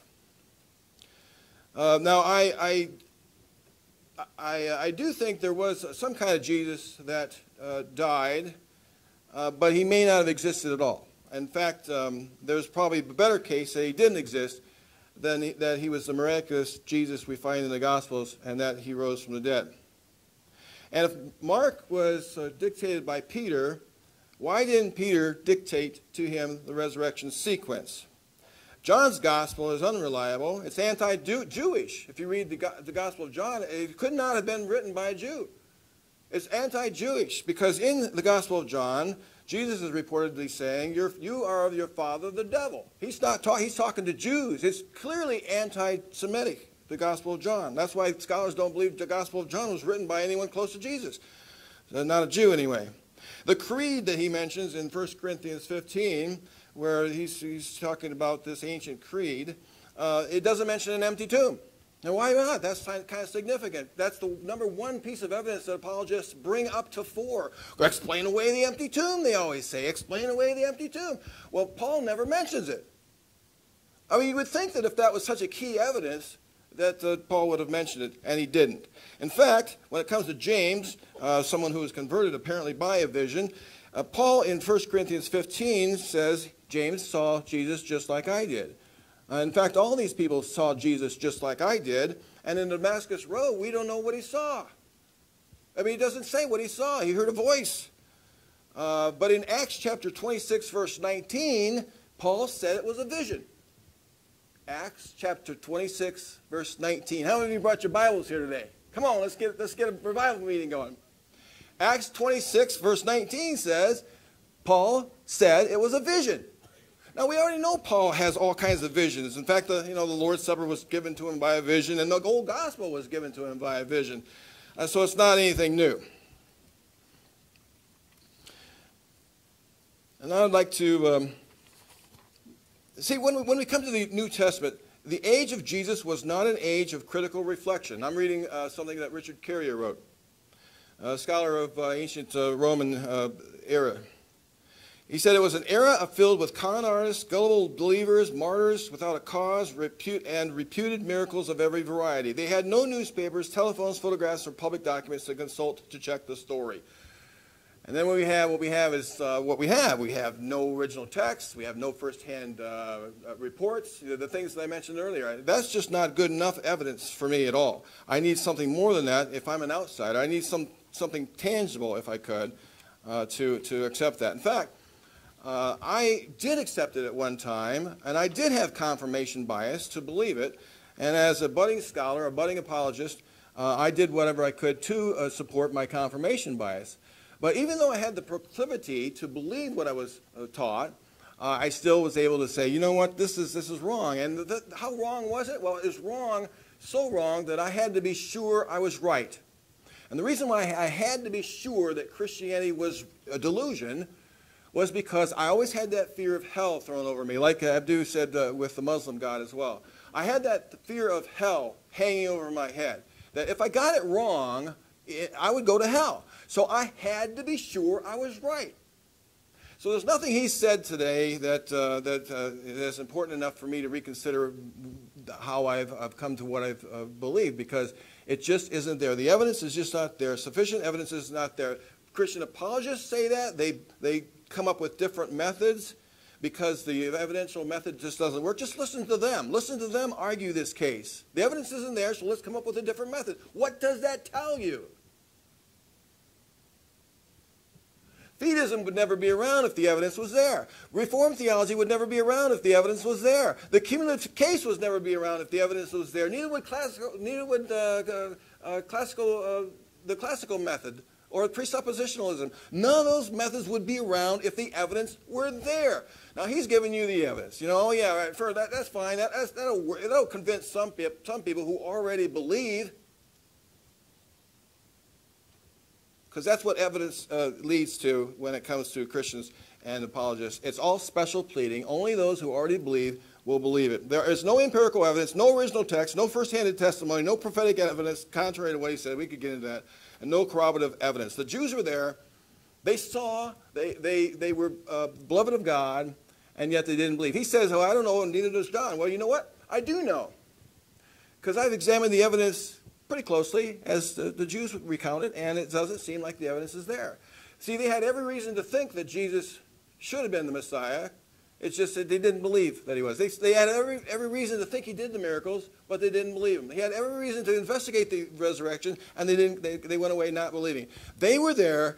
They didn't believe, and because they didn't believe, they're my Johnny on the spot. They were there. They didn't believe, even though they saw everything that was available to be seen. They had every way to investigate it, and they didn't believe. That, so Paul had to take off and convert the Gentiles. There's just isn't enough evidence to believe, and I leave two minutes to to Abdu for rebuttal. I got two minutes. I got you know what? Just want to sing a song, uh, Kumbaya or something. I got two, I, I can't believe I got two minutes, and I'm done. All right. Okay, uh, actually, both are going to stand. At your, at your respective uh, microphones, uh, this is time. Seven minutes are allotted for cross-examination, going back and forth between the two speakers. Uh, Once we can get this set up, then, yes. And the way, well, I'll, I'll leave it uh, to each of you to decide which one wants to do cross-examination first. Uh, but Go ahead, Abdu. seven minutes piece. Sure. no throwing of anything, John. Um, uh, John, in your in your books and in other debates, and I'm glad I, you read them. And I, yeah, thanks. Um, uh, uh, in other debates as well, when I, I believe you may have said it, said it here as well, you made the statement today, in fact, you did say it, that the, the early ancient times was marked with gullibility and people who would just believe all, any old thing, right? Um, that uh, they, weren't they weren't critical thinkers and these kind of things. Yet in your book and in your debate with David Wood, you made this statement that the empty tomb had to be made up and the guard story had to be made up to convince people uh, of what amounted to a fantastic story. So here's my question for you. If people were gullible, why didn't they just believe when they said we saw a vision of Jesus? Why did they have to make up the story at all? If they were gullible, they wouldn't have to make up the story at all because they wouldn't be gullible. Um, they'd be critical thinkers. So why did they make up the story if they don't have to? Okay, all right. Well, you know what? Um, it does make it more believable if you have a made-up story. But why do you need Uh, to make it more believable? Well, I I understand your point, but uh, let's just say it did run across some people. I mean, not everybody was gullible. I never said that. Carrier doesn't say everyone was gullible. I said characterized by. The whole time was characterized by a bunch of morons, apparently. They were, they were pre-scientific people who were superstitious. They believed in an evil eye. Let me give you an example of what an evil eye is. Don't look at my eye because it's evil. And if you, if you look into my eye, I could, I could be emanating particles from my eye that might actually make you into a very self-absorbed person. They believed that back there. You can find it in the text of the, in the Bible itself. Jesus and Paul said as much. We can get the quotes out if you want. Those kinds of things are there. They believed in all sorts of things. So um, they, not everybody had the non-questioning uh, uh, gullibility, but it was, it was permeated by that. Is the point. And I think that the stories grew evolu- in an evolutionary way, and, and things were added to it. I don't see any problem. Well, I, well, aside from the fact that in order to, if they were permeated by gullibility, then to create an entire story and circulate that in the Gospel of Matthew, and then cut, lie about the lie that you, need, that you lied about, just seems an utterly unnecessary act. If, in other words, your explanation is looking for something to explain. Well, you know, I, I, the one thing is that uh, Matthew has a story about guards at the tomb, and uh, Luke, a later gospel, denies that story ever happened. Because uh, in Luke's Well, it gospel, doesn't deny it, this doesn't include it. well, uh, that's true, but he said in the, in the fir- that's true, but he said in the very first two verses of his gospel, "I've investigated everything, O Theophilus, and I'm going to tell you the truth of what happened." Leaving, he didn't say leaving nothing out, but he says, "I'm going to tell you the truth of what happened," and then he ignored the guards at the tomb story, which was added for the gullibility of, of the choir, which Luke decided, eh, you know, we don't even need that gullible story because it can't be true. What the guards, because what did the guards see? Uh, you know, when were they placed? You know, so Luke says, so let's go back to gullibility. We, we don't need that. He denies what Matthew uh, reported. And other than the way you've sort of woven that story. Got pretty good. literally You zero like, evidence. did you like that? It's pretty good. Well, uh, except for the fact there's got no evidence for it. no, I mean, I think that's true. I mean, Luke denies what Matthew uh, included because he didn't include it. Give me evidence of that. It's uh, Luke chapter 1, verse 2, 3, and 4. So now you know how a trial works, where uh, you bring up something to a jury, or No, I a- don't. Okay, well I'll tell you how it works. Um, just because you don't have all the evidence you'd like doesn't mean you don't have enough evidence. We would like tons of evidence. You know what I'd love to have? I'd love to have a video of OJ doing the deed with three people I have watching it, I have it. I have it. It's in Oh, my you, mind. oh, you do it. Okay, great. But doing that kind of a thing, and you know, photographs and witnesses who say they actually saw it happen, I'd love to have that. But the fact remains, we had enough evidence to have that trial, and I think reach a, reach a verdict that you know obviously wasn't the right one. But there you have it. We have plenty of evidence all the time. Trials don't work like I would like to have all this wonderful stuff. You need to have enough stuff. Now, what you've proposed with this gullibility story just doesn't seem to doesn't seem to watch. It seems self-contradictory. Either they're gullible or they're not. But you're saying some are and some aren't. So we'll invent an entire gospel out of this. And Matthew and Luke writing roughly contemporaneously, I just don't see the connection. I don't see, in other words, the connection that you make is that Luke read Matthew and said, hmm, I don't like that story. What evidence do you have of that? Of that direct evidence that Luke saw Matthew and said, that's a bad story. Well, Luke said, Luke, Luke said himself, uh, I, I've investigated it and I'm going to tell you what happened. I mean, he, look, and you, you would quote that, wouldn't you? But to say that Luke's gospel is sure because he's, he's investigated until it comes to Matthew's story. Then all of a sudden you want to back down and you want to say, well, you know what, that didn't matter. Well, maybe he didn't, maybe it didn't matter to Luke. Doesn't, Well, mean, that- doesn't mean that Jesus didn't rise. Well, Just because you know- you know Matthew has a story doesn't mean I Jesus didn't rise. I have a theory on why he didn't include it. It's because it's nonsensical. I mean, if the guards fell asleep when Jesus arose from the dead, then how could they say what happened? It, it is nonsensical, nonsensical, so why not eliminate it from Luke's gospel? That's just a theory. I mean, It's- the- the- again, the it's- guards it's no a longer theory matter. according to The- John Loftus.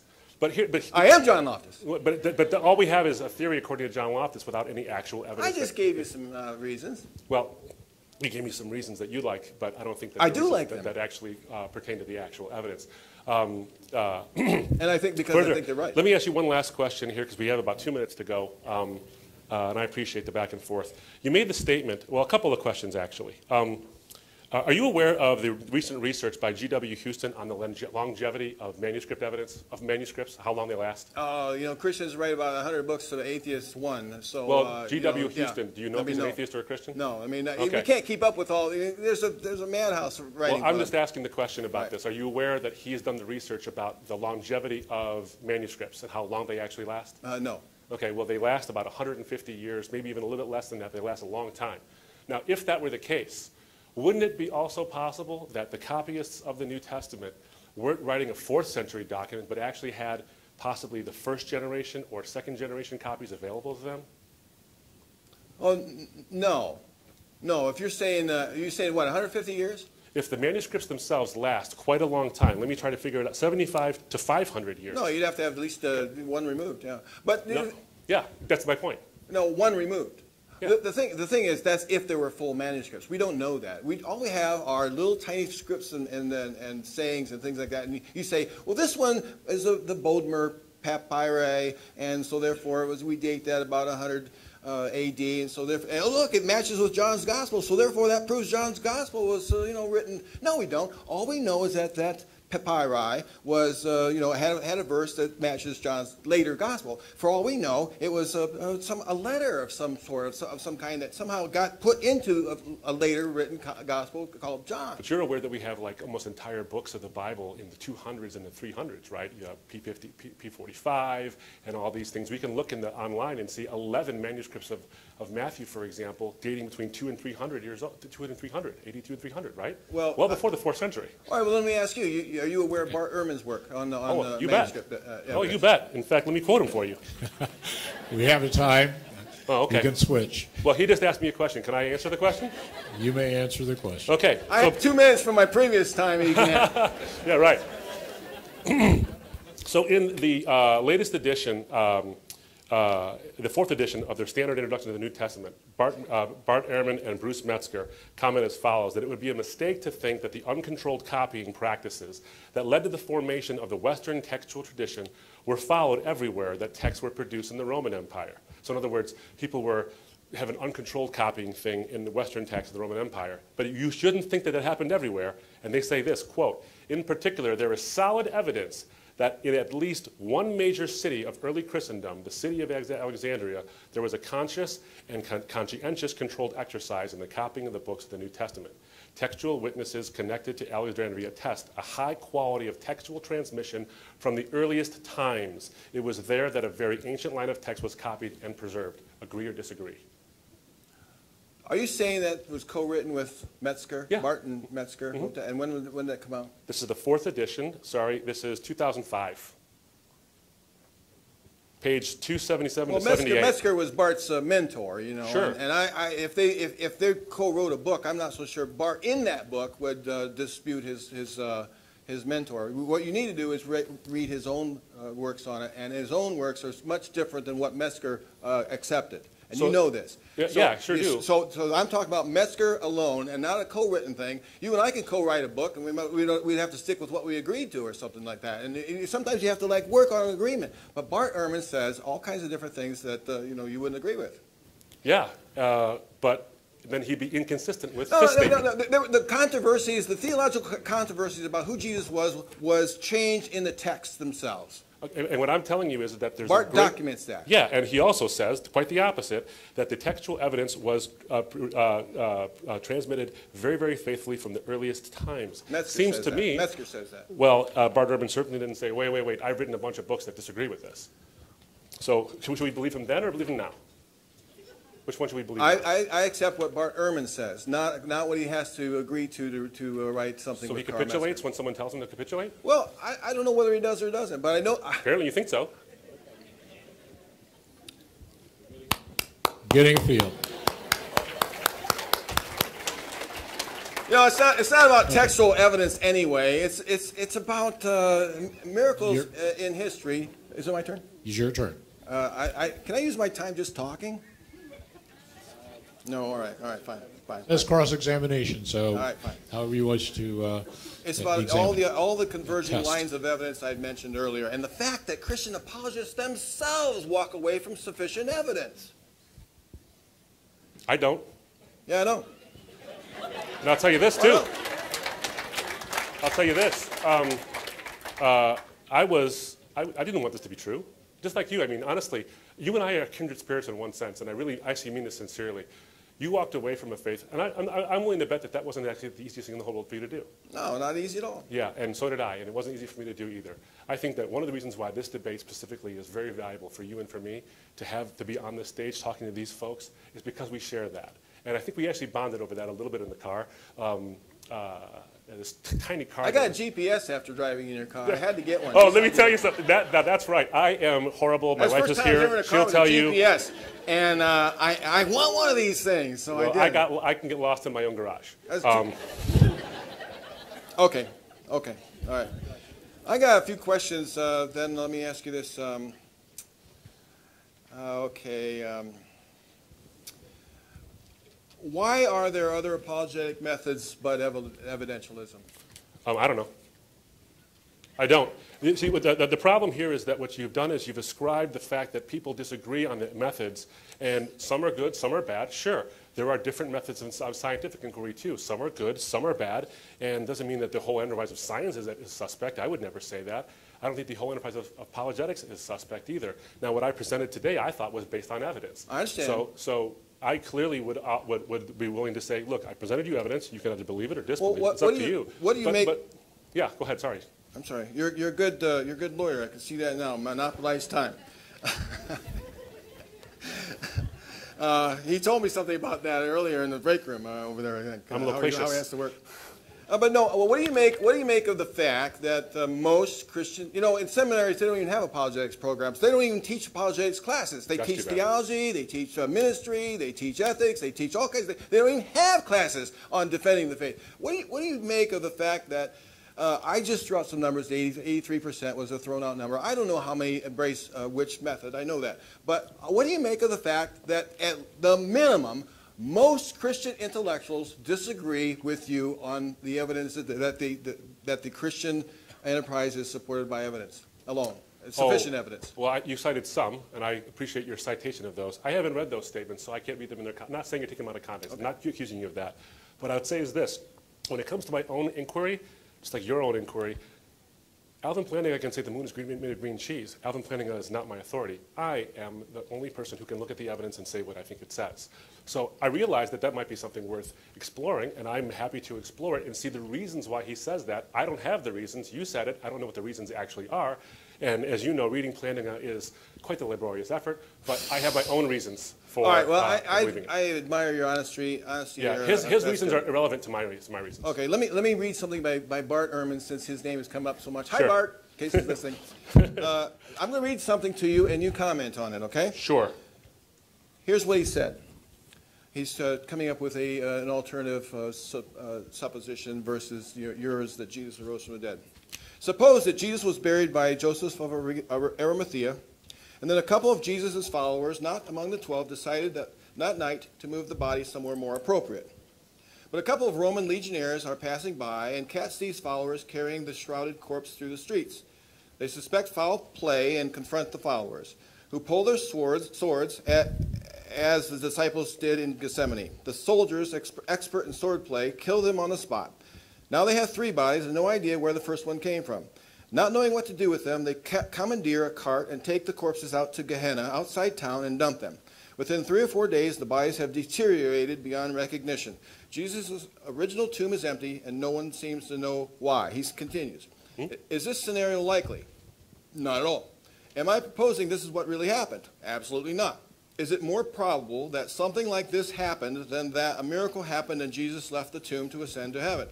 Absolutely. From a purely historical point of view, a highly unlikely event is far more probable than a virtually impossible one. You comment on that? Sure. I, for, for, the premise is flawed in its core. The idea that a miracle is by definition the least likely or impossibly likely, I think that's what he said, something close to that. I'm sorry if I didn't quote it exactly. Virtually impossible. Virtually impossible is deck stacking eh, and question begging in So often do miracles happen in your life? Oh, not very often. I mean, Uh, ha- except for the fact that the world exists and that I exist and that I have a conscience. That happens all the time. so actually. one. Yeah, everything existing, that's one. No, no, one, Um, one time. But let me just say this. The, the point I is hate this. lawyers, you know that. The point is this, though. The Judges are good, though. Judges are good. I was going to say, wait a minute now.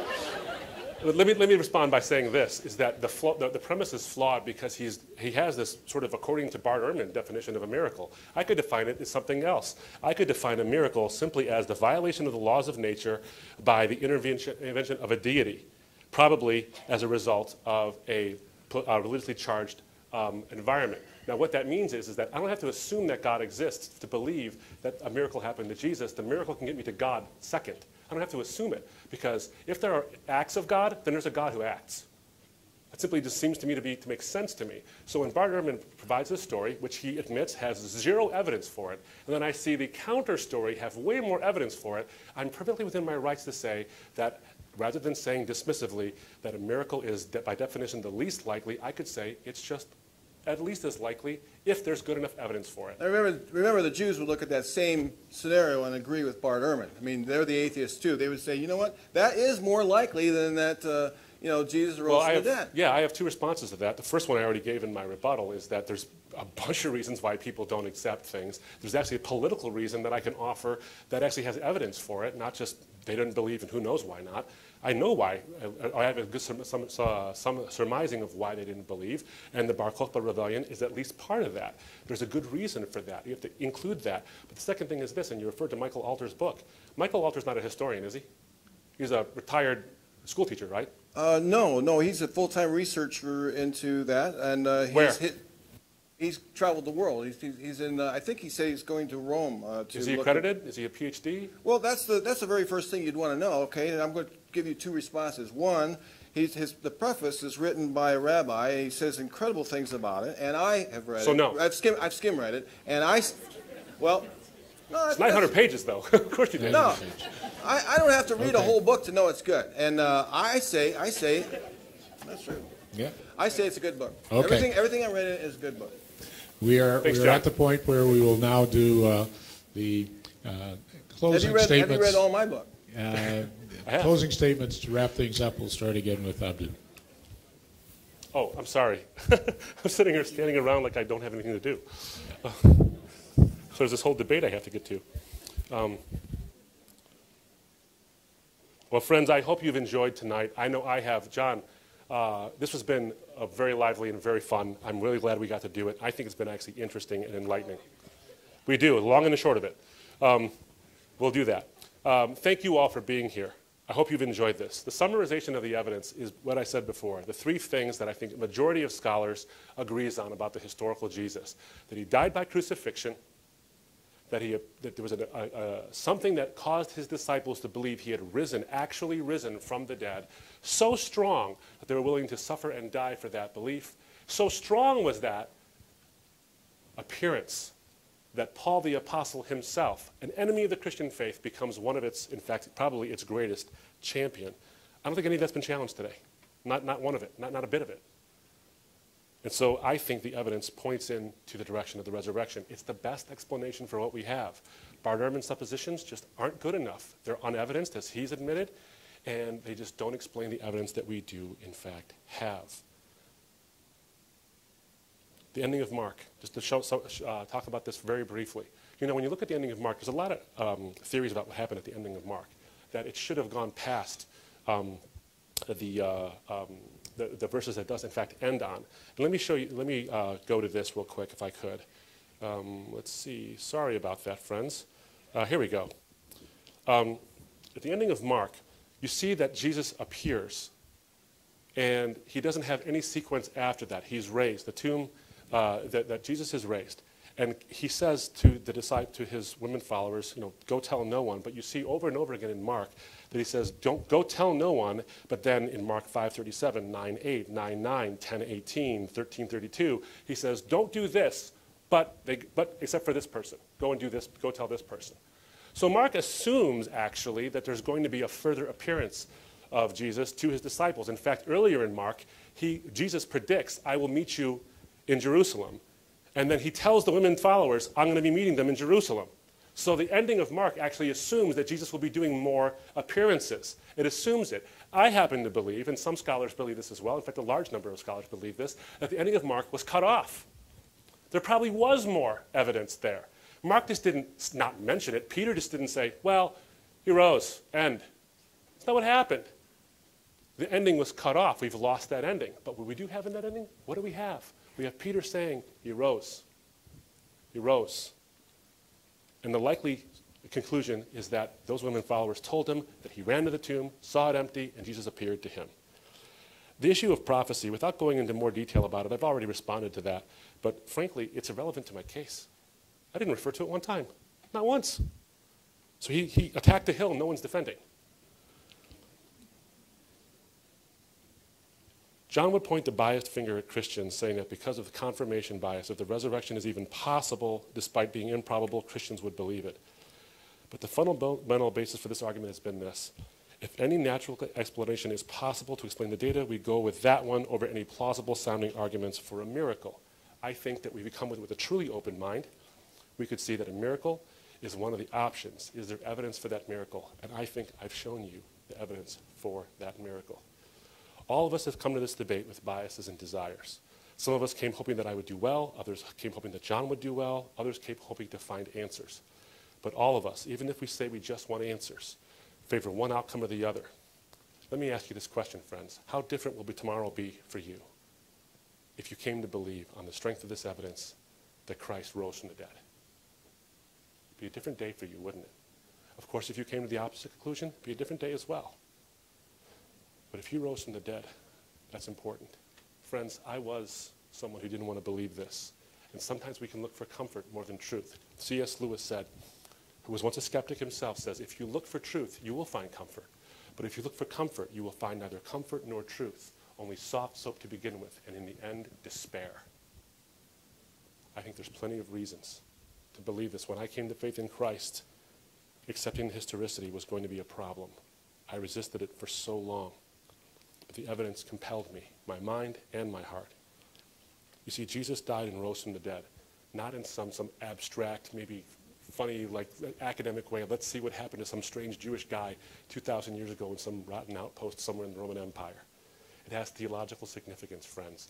It tells you and tells me something. The cross tells you and tells me something. This message isn't relevant to you. You are relevant to God. Because your moral choices matter, and the cross is the statement with an exclamation point. What you do matters. But the resurrection says that he offers you life. The case for the resurrection offers you the assurance that giving your life to Christ is not a blind leap. The evidence tells you it's not a blind leap, but an act of trusting in what God will do for you based on what he's already done. Thank you.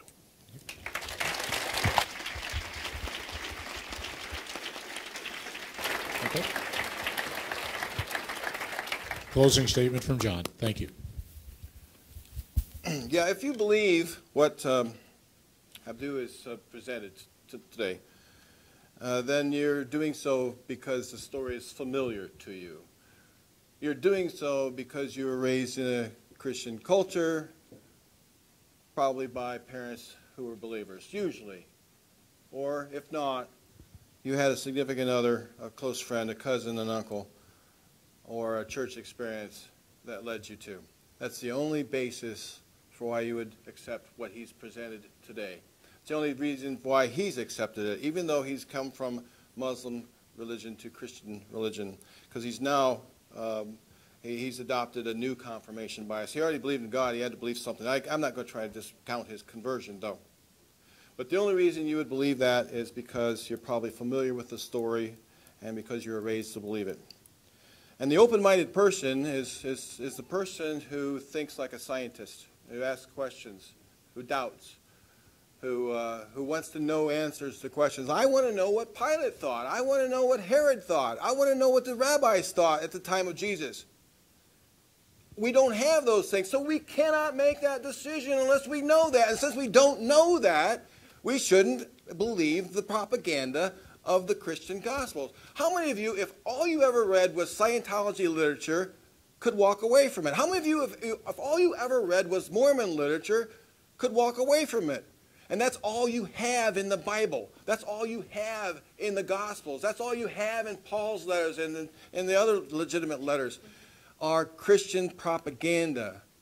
We don't have the other side of the story. Now, in the Jesus Gospels, all you see is Jesus de- defeating one after another of his debate opponents. His opponents will come up and they'll say something and he'll give them a one line answer and they'll walk away defeated because he finished them off. He had the final answer. They had no response. That's what you read in the Gospels every single time. Now, I have never in my life, ever, seen a religious debate that was settled every time by someone. There's always a response. There's always some, you walk away and you have some other kind of uh, objection, and that was not stated, that was not recorded. We do not have any of those recorded. We don't have any of that. But I'm sure, as sure as can be, he didn't convince the people that he was debating. That's propaganda. Now, in the Bible, we find a world where there were gods and goddesses that ruled over specific lands, and they had divine councils to decide our fate. It was a world where God and his sons lived in the sky, and people who died went to the dark recesses of the earth. It was a world where a snake and a donkey talked, the giants lived in the land, where people could live to be more than 900 years old, where a woman was turned into a pillar of salt, where a pillar of fire could lead people by night, and where a sun stopped moving across the sky or could back up.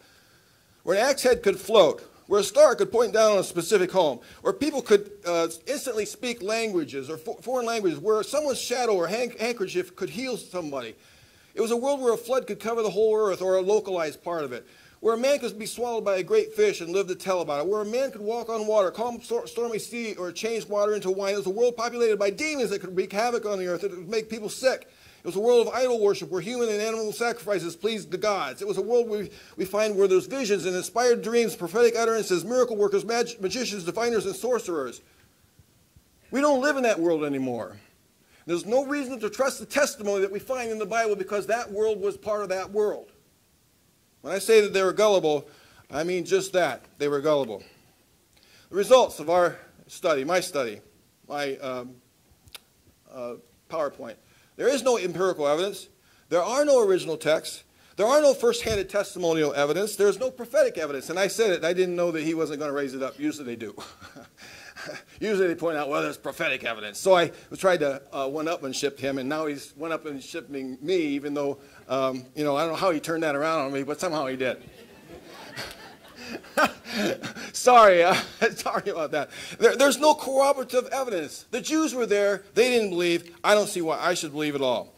Given the fact that most Christian apologists do not think there's sufficient evidence to believe, we shouldn't believe either. Now, if you want any of this corroborated, on my side, read the two books that I mentioned. Go to the library if you're cheap. I don't care. The library has them. Check them out, especially the book, How to Defend the Christian Faith Advice from an Atheist. See, I was one. Abdu, you got that one yet? I should give you one. Um, thank you so much.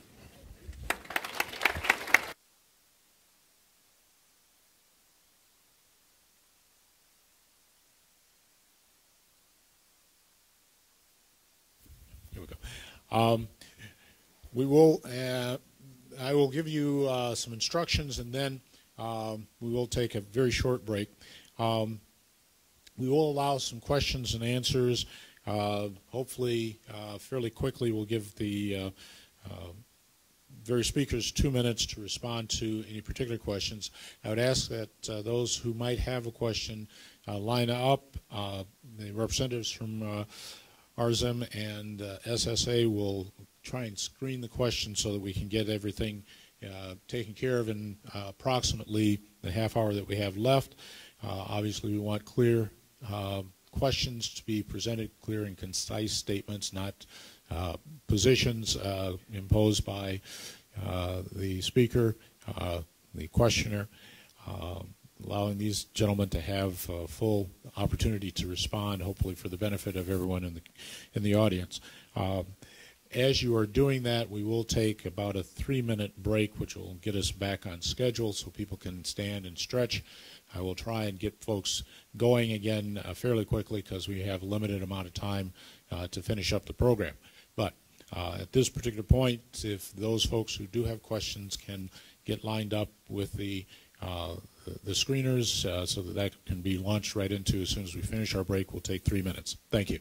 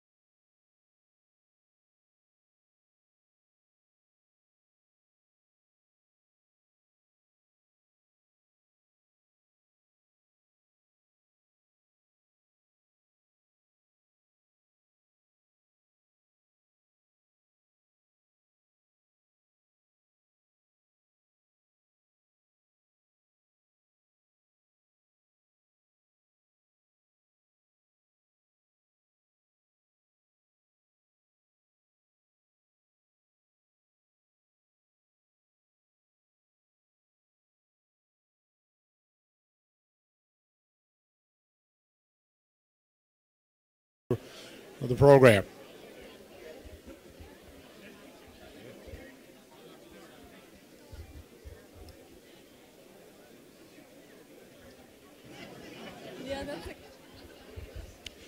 While you are uh, making your way back, I should point out that uh, this proceeding was live streamed uh, rzim.org uh, slash live, and then for those of you who are into tweeting, which is something that is totally foreign to me, uh, hashtag RZIM debate is the the uh, handle, I guess you would say, with regard to that. So, again, thank you very much for your patience, and uh, we will begin the process of questions and answers. And like I said, um, we will live it.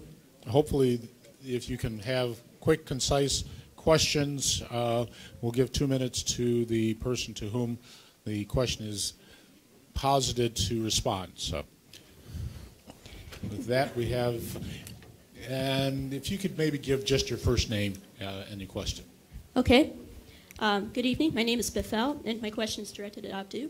Um, as a trial lawyer, when you're examining witness testimony, you look for ways that they sort of incidentally or accidentally corroborate each other without looking like collusion. Could you give an example of that sort of thing as you look at the gospel, something that would indicate that it was natural eyewitness testimony and not simply, you know, Luke copying Mark? Oh, that sort of absolutely. I think that there are, are great reasons to believe that the Gospels are filled with um, these, uh, these statements. As you know, there's these things called undesigned coincidences. An undesigned coincidence is when there's something, there's a bit of evidence that's left out of one Gospel that's corroborated in another. And I'm trying to look it up right now. I have a couple of these actually listed. So if you'll bear with me for just a moment. Uh, sorry. Um, here we go. Okay. Here's a couple of examples. M- Matthew chapter 14, verses 1 to 2. Uh, Herod is talking to his servants about who Jesus is and says, He's the, you know, the reincarnation, or the, he's John the Baptist, come back. Now, how would Matthew know that Herod was talking to his servants? Matthew wasn't there. Well, we find out not in Matthew's gospel, but in Luke's gospel, Luke chapter 8, verse 3. Luke says that one of his women followers was the wife of Herod's servant. So, how did he know what was going on in Herod's palace? Well, one of his women followers was the wife of one of Herod's servants. So, the likelihood is, is that he told him.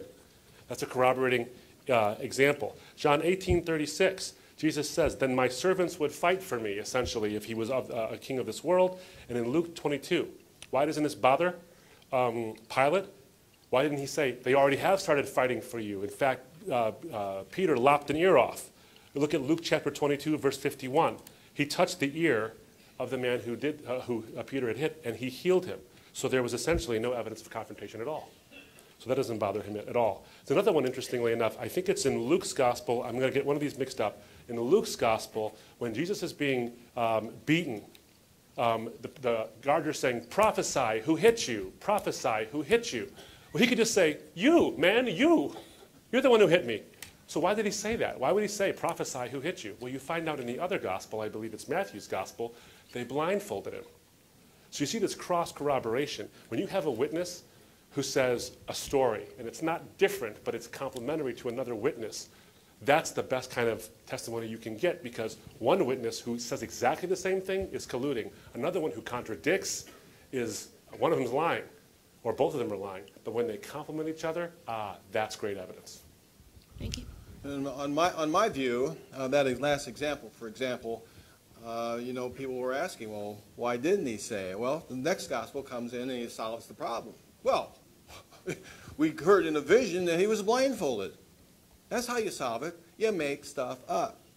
As far as making stuff up goes, uh, when uh, Abdu said earlier that the Christians are now saying that there is there uh, was a longer ending to the Gospel of Mark because there wasn't a resurrection sequence, uh, they're making stuff up when they say there was a longer ending to the Gospel. They're making stuff up. There's no evidence for it. That's how you do apologetics. That's how you write Gospels, in my opinion. That's not how I do apologetics, but thank you anyway. No, no, no. See, see, uh, see. No, nobody, nobody admits that's what they're doing. You see. Can I, in the time remaining, can I have a No. short response or no? No? That's okay. It's your time, John. I don't, I don't want to cut into it. Let's go to the next question. Go ahead, go It's ahead. okay. Go to the next question, ahead. please.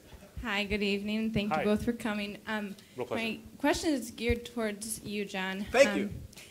My name's Carrie. I am a Christian, so I do come from that bias that you talk about.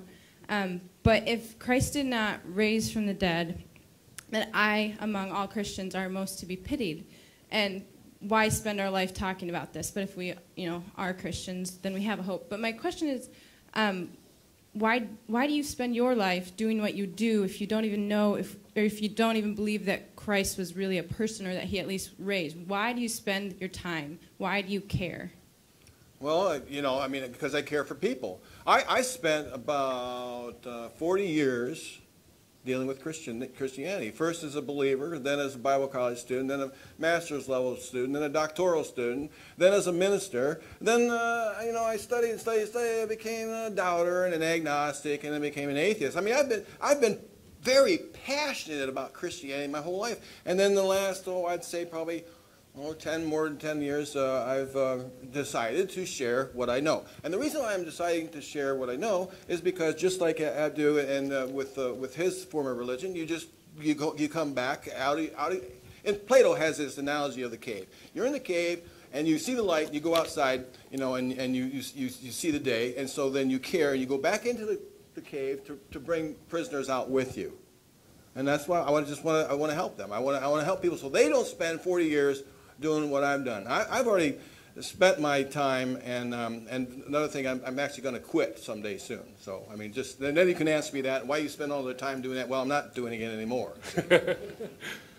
Probably the next year or so. But but you do believe that this life is all there is. I do. Okay, that's just I'm very I'm get to amazed I'm that gonna you get- spend your time doing this thing because I would be in the Caribbean all the time. Well,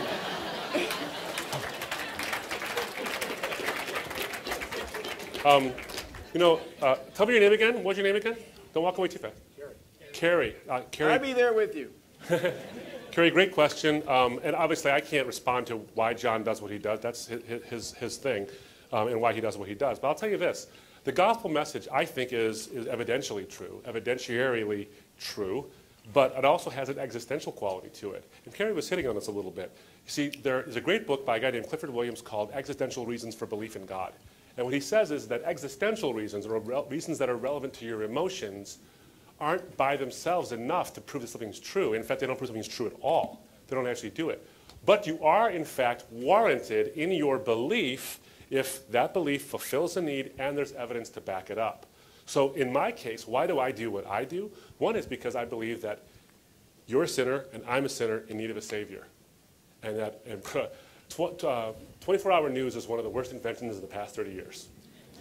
But I'll tell you what it does. Not only does it give you a bunch of, you know, uh, people just giving you their opinion constantly, but here's what it does. You want to know that human beings are in trouble, are inherently in trouble? Just turn on the news any time of the day. Um, it was Dick Muggeridge who said that uh, original sin is one of the most hotly contested doctrines, but also the most empirically verifiable. Um, and we need someone who's not us to save us from us. That satisfies a need in each one of us. Apart from the evidence I already gave, which I think is substantial, there's a need that's satisfied as well. And so why do I do what I do is because I want to provide to you substantial intellectual answers that satisfy the heart. What we try to do is bridge the mind and the heart. Now, for some folks, atheism does that for them. It does. For some, maybe for you, John, maybe for other people. I've heard testimonies of the liberation. In fact, I debated an atheist on Thursday at West Texas A&M. And the chief reasons he said atheism helps him is because it relieves him of the stress of having to worry about a God who's going to zap him. Now, that, that, that's fine. That, that's a personal reason, and I can't deny that reason. That's his reason. But I'll tell you this that's not what the God of the Bible is.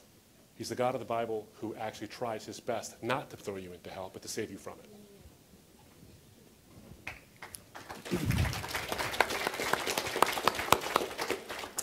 Hi, my uh, name is Joel, and my question is for John. Thank you so much for your presentation.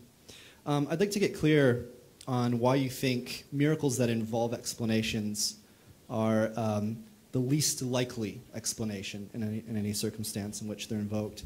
It seems like that claim is ambiguous between two different claims. So, miracle reports might be the least likely explanation because um, a miracle just is never a good explanation. It never satisfies certain explanatory virtues like simplicity, predictive power, unification, and so on.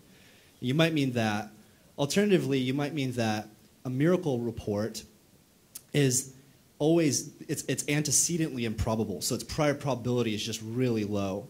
Um, and so I guess I'd just like to get clear on which of those you mean. Do you, do you mean that a miracle report is just never a good explanation, never, it never uh, has, it, it never explains the data, as well as another hypothesis, or just is antecedently improbable? Because I mean, those those are rather different. Antecedently improbable. And I'll explain this, why. Um, uh, you- You're participating in what I call definitional apologetics You- you're with your professor, Timothy McGrew. I'm sure you uh, have heard it from him. It's called definitional apologetics.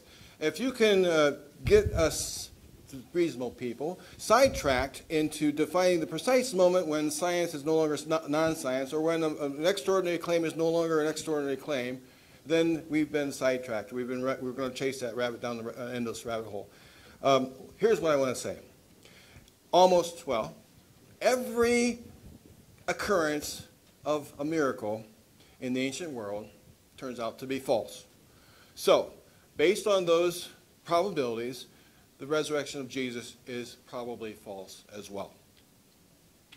you mean it's antecedently improbable? Yeah, the, the antecedents come from all other known Yeah. uh, miracle claims in the ancient world. There are a dime a dozen. I mean, you can read Rudolf Bultmann's book on New Testament uh, theology, and he has a, a long section of all the miracles that were claimed in the New Testament. No one thinks they ever happened.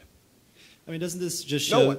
Doesn't so in probability theory we learned that to calculate the probability of a hypothesis given the evidence, you don't just look at the antecedent and probability of the hypothesis.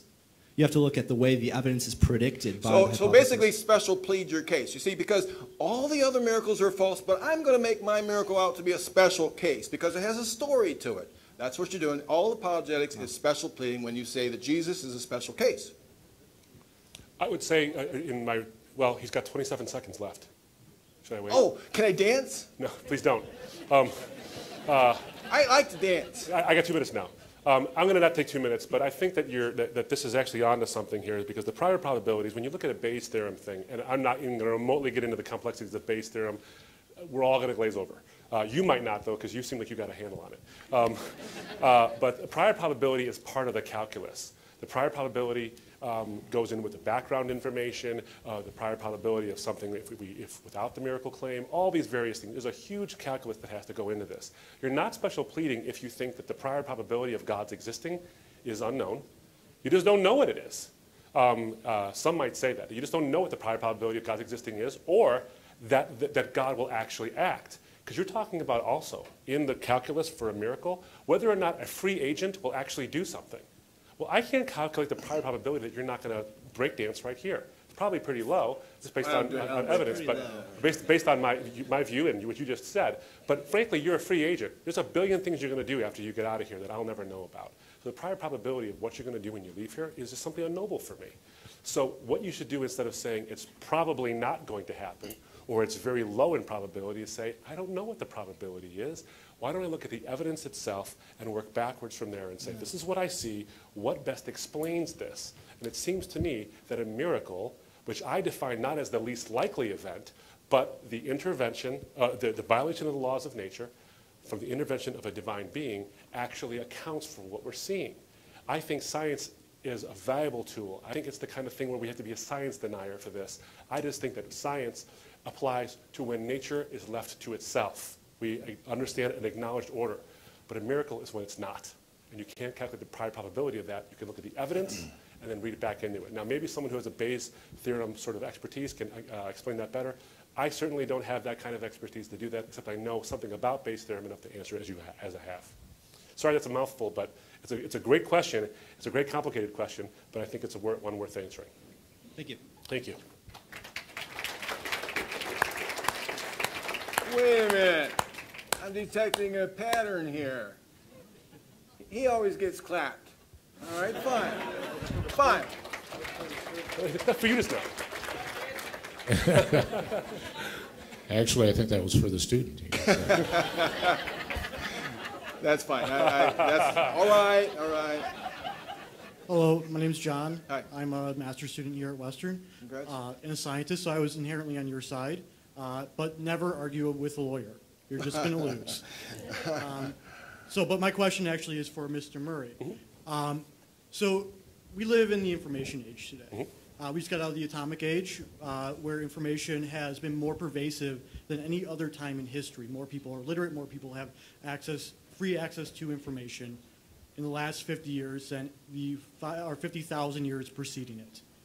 I don't think that's a controversial statement. No. In that period, I'm going to give you three quick examples Jonestown, Heaven's Gate, the Branch Davidians. Each one had a leader who claimed to be Jesus Christ or a Christ like figure, who claimed and had followers who claimed to have seen miraculous events.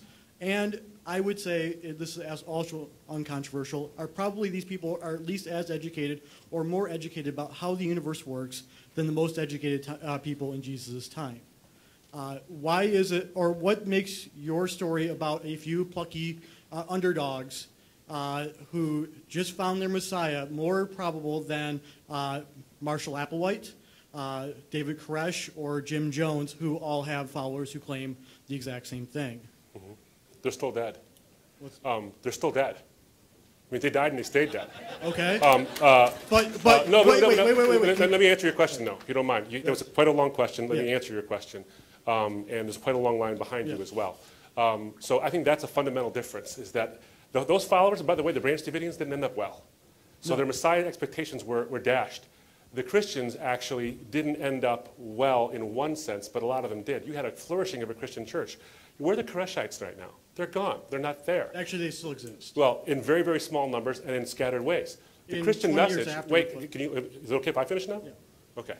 Um, the Christian message actually conquered um, the, the populace quite a bit, and it actually changed many, many people who were not only sort of succumbed to like the Koresh thing, where you had the Branch Davidians and you had this FBI invasion of what happened there, and all of them died in this sort of fiery thing. Uh, you have Christians who are willing to go to their deaths based on this belief. The eyewitnesses themselves are willing to go to their deaths based on this belief. That's pretty strong testimony, if you ask me. Fundamentally different than the Branch Davidians as well. What about Jim But Jones let- or Applewhite? Oh, uh, Jim Jones. Watch the watch the, uh, the the documentary on Jim Jones. My Two-thirds goodness. Of his followers Are you okay if I, in t- Rome. I I can finish, right? Yeah. Okay, because I know you want to get at me, and I re- appreciate that. No, I but do you want to? Do you have a question, or do you want to fight? No, I, my question, my question wants to reflect reality, that which is that Okay. most of these people knew what the So let's was let's let's let, let me now let me provide my answer. Is that okay? I have 40 seconds left now. Um, when you look at the Jim Jones event, what you see is almost all those people, you see them crying and not wanting to do it, and there's interventions, and there's all kind of reasons. Jim Jones himself couldn't even kill himself, even his own, his own, his own desire to do this. He had to have somebody else do it for him, and then they killed themselves. There's all kinds of differences. You're talking about categorical differences. You're talking apples and oranges in these differences. They're just completely different. By the way, one last statement on the information age thing, and then turn it over to John. We have never been more informed. We've also never been more misinformed, frankly. Uh, Tim McGrew and I were making a joke. He made a joke. He said, April 1st is the only day of the year when people double check what they read on the internet. Um, uh, That's uh, good. yeah, and true. So let me just say this. We are, as a species, quite religious. I think it's actually, in one sense, and I appreciate what you're saying. I, want you to understand, I appreciate what you're saying. I really do. But when you look at the majority of people around the world, they're religious believers of some kind. Now, are they right or are they wrong? That's one thing. But they're all very informed, intelligent people, and many of them are sitting in this place.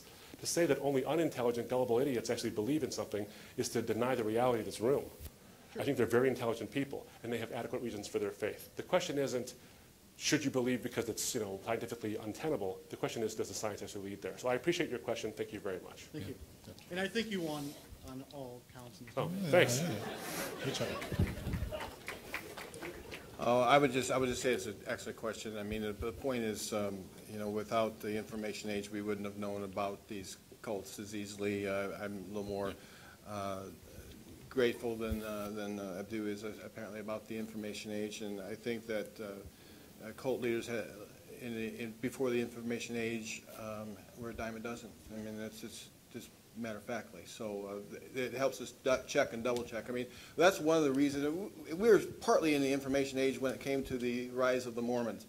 And um, so we know, for instance, that his, uh, tw- his 12 witnesses, uh, some of them recanted and they were close to him about the golden plates. We, we know that.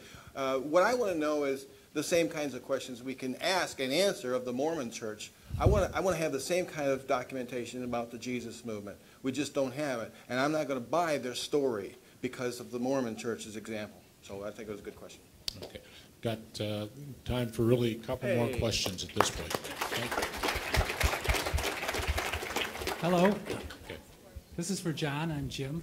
Good job. Um, If word of mouth and writings are not reliable because they're subject to gullible people, um, does that mean verifiable history's onset only came at the point of modern photography? Well, um, no, no. I mean, uh, uh, the, I think the first historian, uh, the first, uh, the first historian, I think, was Herodotus, right? Uh, and he was uh, he was a teller of tales. Uh, you know, uh, something about uh, things flying out of a horse's butt. I think he reported. But um, you know, um, you know, so so no, no, no. That's not at all. That's not true at all. It's just you have to corroborate. You have to look for archaeological evidence. And, so, and some parts of some centuries have very little corroborative evidence, and, and, uh, and you find some disputes about things uh, that have gone on, and so it's hard to, it's hard to do history. It's really hard to do history. Um, and uh, with the, you know, do you know what, there are less sightings of the Loch Ness Monster now that we have cell phones? There wasn't a single sighting last year. Why? Because everybody's got their cell phones out there. Their, their, their, their business is drying up over there because of the cell phone. So I uh, welcome the cell phone and the, and the pictures, and I wish they were back in the, in the day of Jesus. You know, we just don't have that. And it doesn't mean it didn't happen just because it wasn't there. But uh, because it wasn't there, I think there's more reason to doubt. I think, I, I agree with John on a couple of things on this point, and I think this is, might surprise you, actually. No, Um, I think we agree on something. John. Um, uh, and that history is very, very hard to do. It is very hard. There's historians in this room, your, your job is a difficult story because, a difficult job, I should say, because you got to piece together what happened based on the evidence available to you. And by the passage of time, we have some very serious uh, gaps sometimes in some things. We have huge amounts of gaps in manuscript evidence, for example, about Julius Caesar and the Gallic Wars. We have these something like 900 years between when it happened and when the first copy we have of the Gallic Wars actually exists. But here's the interesting thing. What we don't do is say, well, then we should doubt Jesus, uh, Julius Caesar and what happened. We don't do that. We actually look and say, this is the best evidence we have. With the Gospels, we have way better evidence than that. In fact, one scholar actually called it embarrassment of riches how early the, the documents are and how numerous the documents are when it comes to the early church um, and what happened to the early church. Um, and what I pointed out was the very hard work of history, the very hard work of history that led people to say that Jesus died by crucifixion. There was a guy named Jesus. That's a very fringe idea that Jesus didn't, didn't even exist. Um, but the, the overwhelming scholarship of people who do hard history say that Jesus died by crucifixion that, he, that his disciples claimed he appeared to them, and that it was so strong that it converted the skeptics, Paul and James, uh, and, and so on. Um, and I quoted scholars who are not friendly to the Christian faith. Gary Ludemann, Paul Fredriksen, Rudolf Bultmann, just name a few, and there's many others who would say that that history, the hard job of history, we can know something, and we can know, and they said historically certain that this is what happened to him.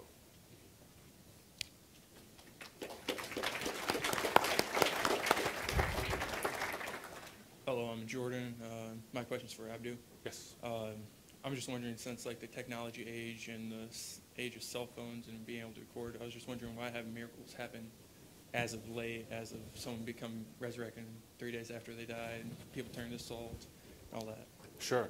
Um, well, a couple of reasons why I think this is the case. And uh, in one sense, this is going to be just me kind of surmising why you don't see it in the sense you do. Remember what you're seeing with the Gospels and with, with, with, with the, um, with the uh, Old Testament itself. You're seeing a very narrow view of certain people in certain times in certain places who are talking about what happened to them. And there's a special, significant, uh, um, religiously charged atmosphere there. So you see these miracles to effectuate a purpose. That purpose has been achieved. The purpose essentially was to get the Messiah to be there, to come, to die on the cross, and to rise from the dead. Purpose achieved. Now, the perpetual miracle of, I think, of creation, and the fact that we do see it, you're, you're literally standing in the middle of a miracle. You're looking at one. Every time you look in the mirror, every time you see the wind blow, you're seeing a miracle. I think the fact that existence even has any substance to it is screams out for a designer and screams out for a first cause. Um, so I think that that is uh, an important evidence of a miracle. We're seeing it every day. But the, the actions have been completed in the one sense of Jesus uh, dying for the sins of the world, and now we just propagate the miracle that already happened. We don't really need any more for that purpose. But I think this as well. I think there actually are evidences of miracles. Um, uh, I know John doesn't like this book, but I'm going to recommend it to you anyway. Craig Keener's book on miracles, two-volume set. It'll break your arm to carry it, but it's a pretty um, thick book, and he goes into it. Whether you buy it or not is another issue, but Craig Keener talks about the survey of miracles around the world. Let me give you an example of something that was recently shared with me. I have a friend, his name is Caleb, and his wife, his name is Jody. She was diagnosed with lymphoma very recently, last year in January, I believe it was. And she had lymphoma. The blood work came back. She's got lymphoma. She's, lymphoma is no laughing matter. She gets tested again, I think three or four months later. And, the, and I have actually have the medical report um, where he shared it with me that says something like, there is no uh, cancer in her whatsoever. And by the way, what we see is oftentimes the result of radiated blood. She had no treatments, not one, not one treatment. Now you can say, oh, they got it wrong, or they goofed it up, or whatever it is, but you need to investigate the claim. That seems like a pretty strong claim. Now, maybe there's explanations for it, maybe there's not, but I think these things do happen. We need to look into these things. Um, and in the information age, maybe we'll find some uh, more stuff. Craig Keener's on, on the prowl for these things as well. So anyway. These kind of miracles are usually taking place in uh, South Southern Hemisphere and um, uh, South Africa and and uh, I mean in Africa and uh, South America. Um, Philip Jenkins has a book called The New Face of Christianity, and he talks about their attitudes towards miracles, and they're open to them. I mean, they they're, they're from tribal sorts of places. where there's demon demon activity, and there's uh, spiritual warfare and things like that. Um, it's, uh, it, it's, it's not happening so much in America because we're more technologically uh, savvy. Um, and um, it's really kind of a strange kind of phenomenon, I think, that it's, that's there and not here. Um, and the stories that are made up, you know, I used to be a Pentecostal. Uh, you know, I used, to, you know, my very first years as a Christian were, were as a Pentecostal, and I remember specifically one girl saying she was healed of epilepsy. I mean, a friend of mine, right, in Fort Wayne, and uh, I was inquisitive. I said, "Well, praise God, you know, and uh, tell me more." And she says, "Well, I went to this healer, and then I got healed of epilepsy." Well, that's sweet. And and uh, she said, "But I still have the symptoms." That's the punchline. Uh, I, I, even then, even then, as a Pentecostal, I was saying, "What? Are you saying, yeah, I still have the symptoms, but you're healed? Yeah, I got symptoms. Okay, so what's the difference between now and then? Well, I got to claim the symptoms in the name of Jesus every day. Oh, so you're not healed? Yes, I am. I, I tell you, the twisted logic of believers with miracles stunned even me when I was a Pentecostal.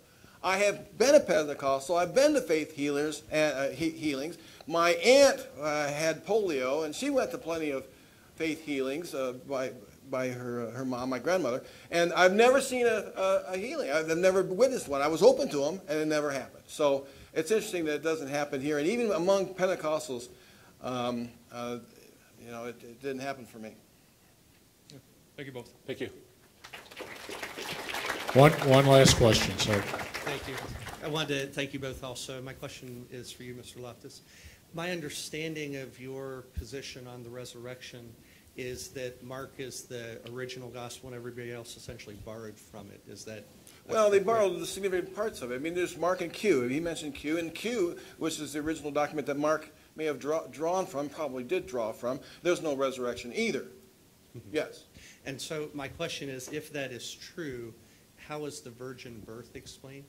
Well, there's no virgin birth. What do you think? I'm, I'm going to be duplicitous here? I mean, no, uh, think, think about this for instance. I mean, supposedly Jesus was uh, a descendant of Joseph, uh, you know, who was a descendant of so and so, back to David, back to Abraham. Well, if God's semen was what did it, then Joseph was not the father. He couldn't have been. He couldn't have been descended from David. Now, could he? Jo Joseph was descended from David. At least that's what's written. Right, right, right. And, but Jesus, there's no, there's no part of him that. See, they could. What they thought back in that day was that the male seed entered the woman. They knew how, the, they knew how to do that. Woo! Uh, but what they thought was that the male seed did all the work, and the woman's womb was merely an incubator. That's all, that's all it was used for. Put the seed in, and the woman spits out the baby. It's my baby. I'm the father. And I hope that, uh, you know, it's a boy, not a girl. And the woman's job was just to spit out the baby. Now, if you didn't spit out the baby, something's wrong with you, because I gave you everything you needed. but in the, Mary's case, apparently, it was God's semen. And, the, you know, this is incredibly, uh, it's, it's incredibly uh, insane type of argument uh, to say that then Jesus is the, the descendant of David. He couldn't have been. Anything? Yeah, uh, sure. Um, uh, So now we're talking about now we're talking about sex. couple a couple of things is is that um, Jesus being the descendant of David. First of all, one that's that's figurative in one sense because of the Davidic Messiah. That's a figurative statement there. No, why? And- They got well, all those could I- genealogies. My turn, right? No, I'm giving up my time. I can to talk. So you have you, running ha- you out. have this Davidic, uh, you have this symbolicness that, that, that's there. And by the way, Joseph goes back to this. And so you see that there is a Jewish genealogy, there's a Greek genealogy. Luke goes back to Adam. That's special. Wait, hold on. Pleading. I didn't do it with you. Um, Luke goes back to Adam. Matthew goes back to David. Uh, and um, you see the way in which they do this because there's, there's actually directly talking about what's important about Jesus. He's the Son of Man and the Son of God. Um, this whole the idea of injecting this word in there that suggests that somehow it's making it tawdry and the, in the idea of the virgin birth sort of tawdry and weird. I just don't, uh, first of all, I object to it. Second of all, that's not what happened. Is that the, the, the virgin birth, to me, a couple of things. One, the sources. I think Mark's gospel, and the majority of scholars agree with me, is based on Peter's eyewitness testimony. Um, the ending thing doesn't bother me the slightest because you can see the indicia that, in fact, was supposed to continue. Uh, there's plenty of evidence, internal evidence of that. John's gospel, based on a disciple of, of, of, uh, of Jesus. Luke's gospel draws from Mark, sure. Matthew draws from Mark, but they have their own independent sources as well, and I think I've demonstrated that. So there are multiple sources. But the idea of the virgin birth is simply this. If there's a God who can create the universe from nothing, creating something in the, uni- in, in the womb is cake. It's a cakewalk.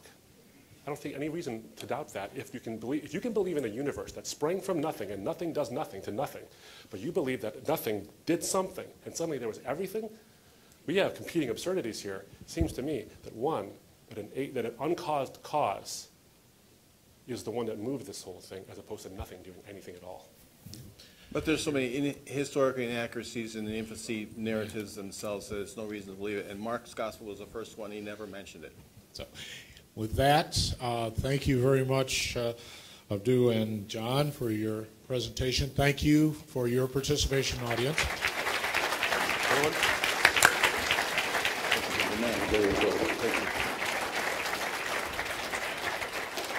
There are uh, representatives from uh, each of the student uh, organizations that co-sponsored this event. There's material out in the lobby if uh, you are interested in additional uh, materials. Thank you very much for your patience and for your attention and for your participation. Uh, with that, I will declare this hearing adjourned. and safe travels home. Thank you.